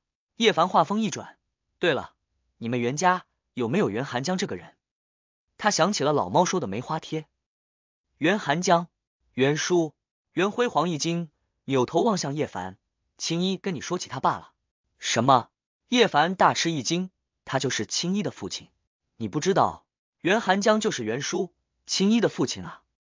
袁辉煌微微一愣，很多年前跟青衣母亲因为意外出事了。意外？叶凡眼皮一跳，他们真是因意外出事的？你是不是知道什么？袁辉煌下意识瞄了门口一眼。看到没有袁青衣影子，就低声发问。上次歼灭隐贤山庄，我恰好拿下一个知情人。叶凡也没有隐瞒，他说袁寒江不是车祸死的，是跟人狙击决斗被人杀掉的。他没有直接说出唐三国和梅花贴，唐三国一案还没完全结束，事关叶唐，不能泄露太多。想不到这个尘封多年的隐秘消息被你挖出来了。袁辉煌转身面向窗户，眺望着黑夜。没错。袁叔叔夫妻不是明面上的车祸意外身亡，那只是一个避免公众恐慌以及让袁青衣仇恨一辈子的幌子。这些年来，我也一直压制着这件事，就是担心原本敏感的青衣知道父母横死的真相后，心灵会被仇恨彻底扭曲。袁叔叔夫妇也不是逞凶斗狠跟人狙击对战而死。看到叶凡知道不少东西，双方交情也算不错，袁辉煌就把话说了开来。袁叔叔除了做人到位、能力出众外，还拥有一手百步穿杨的枪法。他曾经拿下世界狙击神州赛区第一，还一度成为国警三大枪神教官之一，更是评级枪法不止一次化解我爷爷危机。这也是他受到我爷爷器重的原因之一。后来娶妻生子，他就很少玩枪了，觉得杀意太重，戾气太浓，对妻女不好。只是他虽然不玩，但名头摆着，总是有不少人找到比试。他是能推就推，实在推不了应付几下。可有一次，他接到了一个挑战，对方要他生死狙击，既比高下，也决生死。袁叔叔毫不犹豫拒绝了，只是对方却不肯罢休，一直挑衅。最后他探查到袁叔叔夫妇要去机场遇事，凶手就埋伏在机场快速道旁的山丘上。他一枪打中副驾驶座，把袁阿姨打成了重伤。凶手还告诉袁叔叔，不跟他决战的话。他就慢慢狙击，狙击袁阿姨，阻击救护车，让袁阿姨在袁叔叔面前慢慢死去。袁叔叔没有办法，只能跟对方一决生死。只是袁叔叔一直惦记着重伤的袁阿姨生死，心神无法平静，导致水准只发挥了一半。结果就是他被对方一枪打死了。袁叔叔一死，凶手把袁阿姨也杀了，然后把两具尸体丢入车里引爆，这成了袁青衣永远的痛。也成了袁家人的耻辱，袁家发誓要报仇。把事情说到这里，袁辉煌就停了下来，目光多了几分落寞。叶凡先是沉默，随后追问一声：“这么多年，袁家找出凶手没有？你前丈人唐三国？”袁辉煌目光忽然变得深邃。第一千六百四十一章动我儿子者死。袁寒江死了后，袁家进行了追查，有线索指向唐三国，只是袁家没有找到实质证据。唐三国当时又被唐老门主器重，正是风头十足之际，所以袁家无法对唐三国进行控诉和袭杀。而唐三国真正浮出水面，也是老猫录音和唐三国死刑后，袁家从叶唐渠道得到最终确认。只是这时的唐三国已经被叶唐关押，袁氏也无法对他做些什么。袁辉煌把自己所知和袁氏态度告诉叶凡后，就眺望着窗外天空，陷入了沉思。叶凡也没再追问和打扰。叮嘱两句就退出了房门。不过叶凡心里也清楚，袁辉煌隐瞒了一些事，那就是唐三国当年风光正盛，袁家没有实质证据不好袭杀，但不代表袁家什么都没做。对于袁氏这样的庞然大物来说，只要唐三国有半点嫌疑，就会不惜代价讨回公道。只是这个公道不是要唐三国的命，而是斩断唐三国上位的路。袁家要诛杀唐三国的心，天底下还有什么比天堂坠入地狱更煎熬的事？所以袁氏判定袁寒江之死跟唐三国有关后，就下定决心要阻挡唐三国成为唐门主事人。袁家当年百分百撕毁五大家互不干涉内事的协议，跟唐平凡一脉联手了。云顶山一事，袁家也很大几率出钱出力。至于唐三国落魄后，袁家没有痛下杀手，估计跟唐平凡有关。叶凡对唐三国跟各家的恩恩怨怨很是复杂，他想要恨骂唐三国年轻时太没底线，但想到他已经入狱以及死刑，又觉得发泄情绪没有意义了。随后，叶凡努力调整心态。寻思要不要把事情告诉袁青衣，他一时不知道怎么决断，就鬼使神差推开宋红颜房间。宋红颜正洗完澡，擦住头发，看到叶凡脸上疲惫，就带着一阵幽怨开口：“你自己都刚好一点，又去给袁辉煌他们疗伤。”他穿住浴袍走了上来，散开的青丝增添妩媚，若隐若现的身体很是曼妙，特别是白皙的修长双腿，在灯光柱充满诱惑，嗅住洗发精的气息。看住娇艳的女人，叶凡有些迷醉，但很快又清醒过来。我也是有目的的。叶凡看到女人担心，忙笑着掩饰。他们早一点恢复，我们就多一分力量。这样敌人冲过来的时候，咱们也多几个高手帮忙。这次对战丑陋老者，如不是他们打前锋，估计我都扛不住他一拳。他还顺势拿起毛巾替女人擦起头发来。什么叫他们帮忙啊？明明就是他们的事，你才是帮他们的忙。宋红颜坐在床边，白了他一眼。看来你真是精力旺盛啊！叶凡嘿嘿一笑，我都说了，我基本上没事了，老虎都能打死两只，是吗？体力真这么好？宋红颜俏皮一笑，拿过手机，打开计步器，对住叶凡晃动了几下。我今天运动比较少，只有七千步。他眨着美丽眸子一笑，来，你帮我凑够一万步。叶凡止不住一怔，帮你凑够一万步？怎么凑？宋红颜娇笑不已，一把压倒了叶凡，床上凑。两人打闹的时候，远在龙都金志陵，叶无九端住一碗川贝细腻炖猪肺放在沈碧琴的面前，他笑容温润，对妻子开口：“你这几天有点咳嗽，喝点汤润肺止咳。”啧，我都这个年纪了，还滋补什么？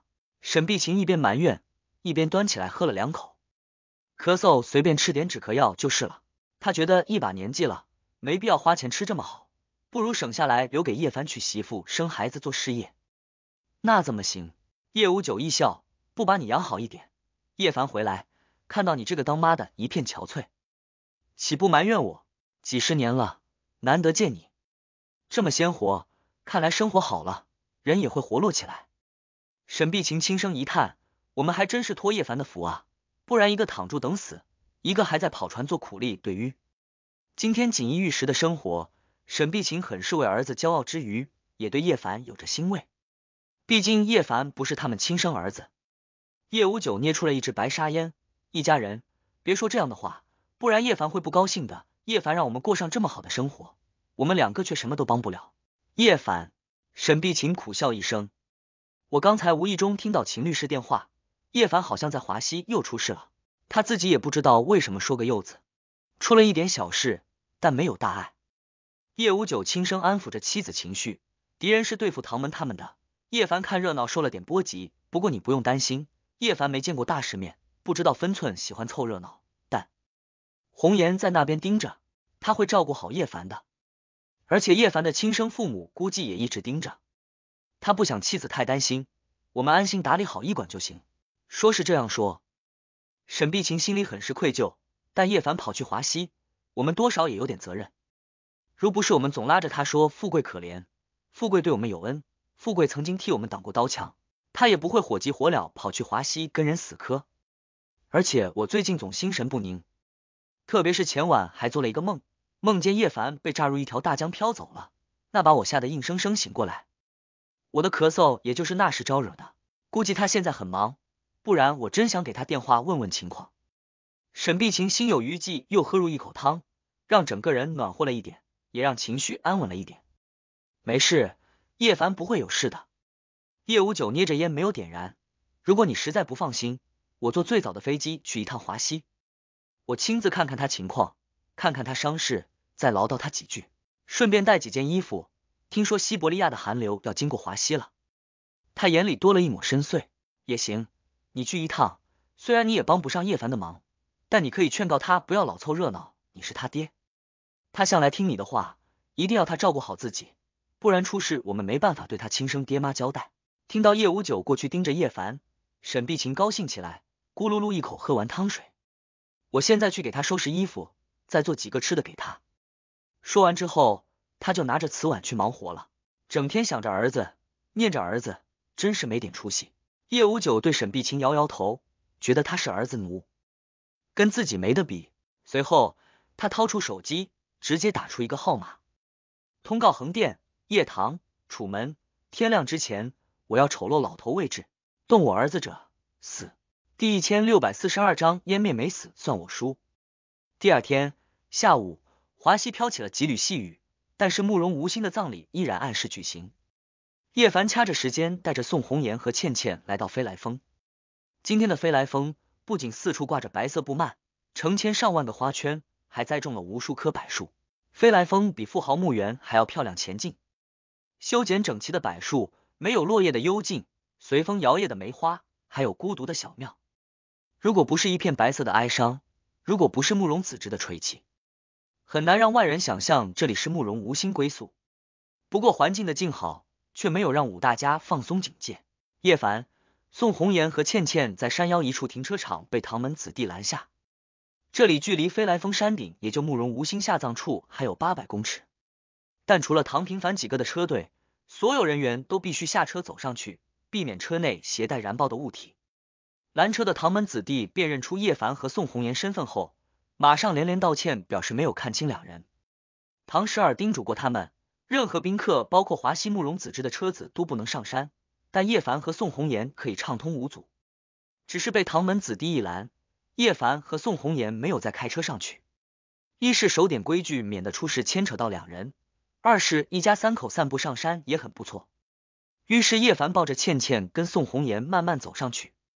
今天防范还真够严密的啊！前行途中，宋红颜一边打开雨伞，一边扫视四周，笑道。看来唐平凡还是紧张小命的。说话之间，他还轻轻靠近叶凡，雨伞也往叶凡头上倾斜。昨晚他挑逗叶凡帮自己运动凑够一万步，虽然叶凡一脸通红落荒而逃，但两人关系又升温了不少，他也就不再避忌大庭广众的亲密了，感觉比国手戒备还严密。叶凡抬起头扫过一眼，确实是戒备森严，三步一岗，五步一哨，除了荷枪实弹的五大家精锐之外。还有无人机在天空不断徘徊，清查住每个角落，而且上山道路也有几道关卡，检查住参加葬礼的人员身份。叶凡还看到几架直升机从头顶飞过，向四周高空不断巡防查探，避免热气球攻击再度发生。山道上还有几十只警犬抽动着鼻子。叶凡苦笑一声，不过也是小心驶得万年船，今天不知道丑陋老头会不会出现。宋红颜眸子多了一抹寒芒。我很希望他来这里，他相信吃过亏的武大家今天一定做足了功课，丑陋老者来这里撒野必死无疑，所以他很希望对方来攻击，这样就能给叶凡出口气了。我不希望。叶凡笑着伸手一摸倩倩脑袋，你们在，再小的变数，我也不希望发生。他中午本来让倩倩待在家里好好休息，但小丫头怎么都不肯跟他们分开，加上让她留在唐门小院也未必安全。叶凡就只好带她过来了。倩倩眨着水灵灵的眼睛，弱弱问道：“爸爸，对不起，我不该闹着来，没事，你不要乱跑，好好跟住，爸爸妈妈就没事。”叶凡轻轻一笑：“今天好多人，你一跑，爸爸妈妈就很难找到你。”倩倩懂事地点点头：“倩倩不会乱跑的，乖孩子。”宋红颜伸手拍拍女儿小脑袋，随后想起一事开口：“对了。”爹早上打了你电话，你跑去晨练没接，后来他又打给我了，他说华西这几天有寒流经过，他要过来给你送衣服。他中午的飞机，估计我们参加完葬礼，他也就会飞到华西了。他向叶凡告知叶无九要来华西，我看到简讯了，他本来早上要出发的，结果没买到票。只能下午过来。叶凡微微用力抱紧倩倩，什么？韩流送衣服。二老估计是听到我出事，跑过来盯住我。他对叶无九和沈碧琴这样紧张，自己很是无奈，但心里却是一股股暖流涌动。他们也是关心你，不然怎会舟车劳顿过来？宋红颜善解人意，等我们参加完葬礼，我们就去机场接他。叶凡轻轻点头，好，把倩倩也带上，让她高兴高兴。他心里掠过一丝惆怅。四老原本等着下个月底抱大孙子，但如今唐若雪跟他分道扬镳，孩子就遥不可及了。叶凡知道叶无九他们心里失落，所以寻思让倩倩这个孙女让他们先高兴。呜！就在叶凡念头转动中，头顶就响起了一阵直升机声音。三人下意识望过去，正见直升机从他们侧边低飞而过，掀起的雨珠四处溅射，机身之下的草木也为之此起彼落。在叶凡抬起头望过去时，直升机正飞抵不远处一处崖壁，对住一个半米高洞口倾泻子弹。接着又丢入一颗催泪弹，两个来回才慢慢离去，还真够尽责。叶凡苦笑一下，连塌陷的洞都查探。你刚才不是说了吗？小心驶得万年船。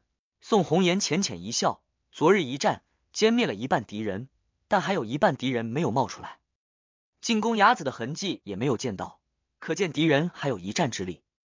这时掉以轻心，很容易丢掉小命。他掏出一战之力张纸巾给叶凡擦擦脸上的雨水。叶凡正要说谢谢，却突然眼皮一跳，抬起头望向天空。他看住高空一只盘旋的苍鹰，眸子瞬间多了一抹警惕。几乎同一时刻，丑陋老者正穿住唐门子弟的服饰，速度极快，从一条小路窜向飞来峰。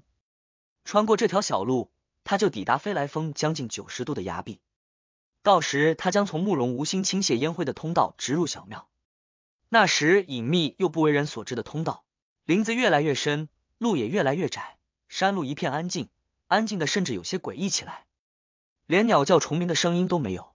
丑陋老者无所畏惧，唐门子弟难于捕捉他的行踪，五大家高手也不是他对手，而叶凡他们昨天又被自己打伤，他相信一千多名联军无人能阻挡他的脚步，因为他的自信和傲然，所以当叶无九走出来的时候。丑陋老者感到十分意外，他声音一沉：“你是谁？”是叶无九抽出一支火柴，点燃白沙，淡淡开口：“烟灭了，你没死，算我输。”第一千六百四十三章，我真不是烟灭不死算赢。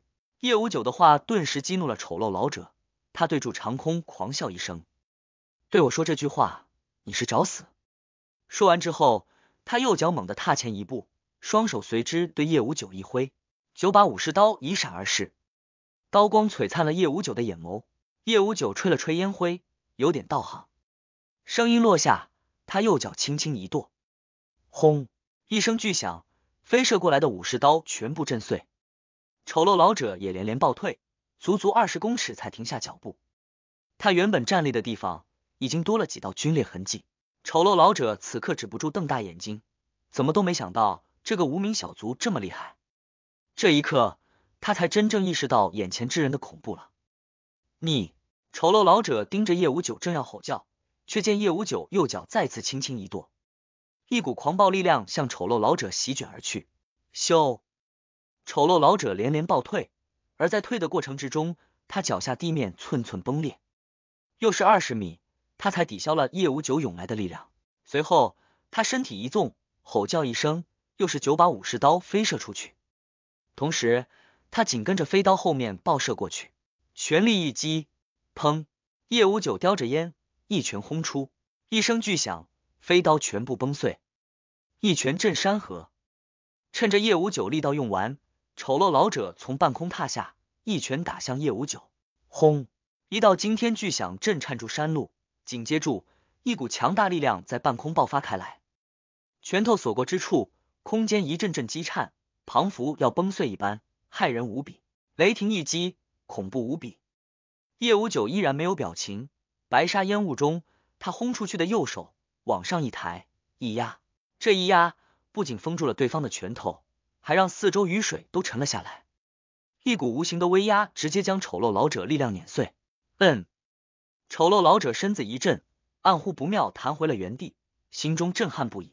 他怎么都没想到，这雷霆一击又被对手挡了下来。昨天被叶凡轻易挡住，今天又被一个无名小卒压制，丑陋老者感觉无比的憋屈，自己不惜毁掉长老的身份，拼着九死一生的危险，重走武田秀吉之路突破。为此，他还付出了被药物毁容的惨痛代价。他以为牺牲这么多，来到神州可以打穿整个武道，一洗血龙元的百年耻辱，可没想到刚出师就连连受挫。如非丑陋老者知道自己实力。昨天也杀掉百人佐证，他都要怀疑武道不退反进了，这让他非常难受。你究竟是什么人？丑陋老者看看通红的掌心，又看看风轻云淡的叶无九，我怎么不知道神州有你这样的人存在？他眼里闪烁一抹凶光，喝道：“是男人就别遮遮掩掩，痛快报出你的名号。神州一向藏龙卧虎，我这种小角色，你没必要放心上。”叶无九弹一弹烟灰，脸上带着一抹温暖。如果非要知道我是谁的话，我只能告诉你，我是一个给儿子千里送衣服的父亲。你虽然比不上我，但已经很强了。在杨国，估计只有天葬能够压你。只是为了这武道突进天境，毁掉容貌，缩短寿命，会不会不值得？怎么说？你麻衣长老也是天社乃至杨国都响当当的人物。他神情平静的揭破了对方身份。你知道我是谁？丑陋老者脸色巨变。你究竟是什么人？怎么会知道杨国这么多机密？他心里已经不能用惊讶来表示了，完全就是从头到脚的震撼。他的改头换面，他的脱胎换骨，算得上特级机密。放眼杨国，岂有屈指可数几个人所知？可没想到叶无九了解的清清楚楚。这不仅意味住杨国有叛徒，也意味住叶无九身份高的可怕。我说过，我只是一个孩子的父亲。叶无九徐徐吐出一口浓烟，我很不想跟你们为敌。打打杀杀哪有安乐饭好？可你们总以大欺小对付叶凡，我这个做父亲的不帮帮场子，岂不显得我们家软弱可欺？所以我已经决定了，以后叶凡打得过或打成平手的敌人就算了。他语气很是平静，打不过我来，毕竟你们都喜欢动用家长，我也不能总看戏啊。叶凡，父亲，你是他养父。麻衣长老反应了过来，随后狞笑一声。叶凡还真是一个人物啊！生父是叶堂之主，义父是九千岁，现在连养父都深不可测。他喷出一口热气，怪不得叶凡如此嚣张，践踏我杨国尊严。好了，不废话了，烟快灭了。叶无九看住指尖的白沙，淡淡出声：“你也该上路了，是吗？”麻衣长老怒极而笑：“那我就看看你比我强多少。”说完之后，他伸出手指，在胸口砰砰砰点了十几下。身体瞬间变得膨胀起来，他忽地抬头直视叶无九，眼睛一片无尽血红，体内气息疯狂暴涨，同时又是一刀在手，刀意直冲天际。接着他双脚一弹一弓，连人带着刀消失。咻！下一秒，一道璀璨刀光出现在叶无九面前，而麻衣老者依然毫无影子，人刀合一。叶无九眼睛眯起，生出一丝兴趣，随后又摇摇头。还是差了一点。叶无九眼睛眯起，生出一丝兴趣，随后又摇摇头，还是差了一点。说话之间，他夹着香烟的手指往前一点，轰！这一剑指点出，落下的雨水瞬间全部震飞，好像一股强大力量击碎了空间。手指所过之处，璀璨刀光好像剥洋葱一样，被指尖一层一层砰砰撕裂。转眼，这一指点中了武士刀，当一声巨响。一股碰撞爆开，整个空间剧烈一颤，而那把武士刀轰然破碎。紧接住，一指继续一往无前，气势如虹，来到了麻衣长老面前。指尖轻描淡写，却带着一股死亡气息。麻衣长老脸色巨变，丢掉手里碎裂的刀柄，双手叠加朝前一推。这一掌硬生生封挡叶无九这一指。他怒喝一声：“破！”随着这道声音落下，掌指狠狠碰撞。轰！掌碎人飞，麻衣长老宛如断线风筝翻滚着跌出了二十公尺，而他刚刚撞在一棵树上停下来，叶无九如影随形出现在他面前，没有丝毫停滞，一指洞穿了丑陋老者的咽喉，是一股鲜血迸射，麻衣长老身躯一震，生机一泻千里，他整个人摇晃不已，脸上也无比骇然。你是天境大成？叶无九摇摇头，我不是。麻衣老者扑通一声倒地，你一定是天境大成，我真不是。叶无九叹息，把指尖血迹擦掉，就助白沙狠狠抽灭最后一口。不是天境大成，把自己打成狗，还不是大成。麻衣长老还想再坚持，却突然想到什么，脑子一热，鲜血更涌。他脸上无比骇然，张嘴却没了力气，脑袋一歪死去。叶无九手指弹飞了烟头，拿出一个老人机打了出去。老赵，擦地了。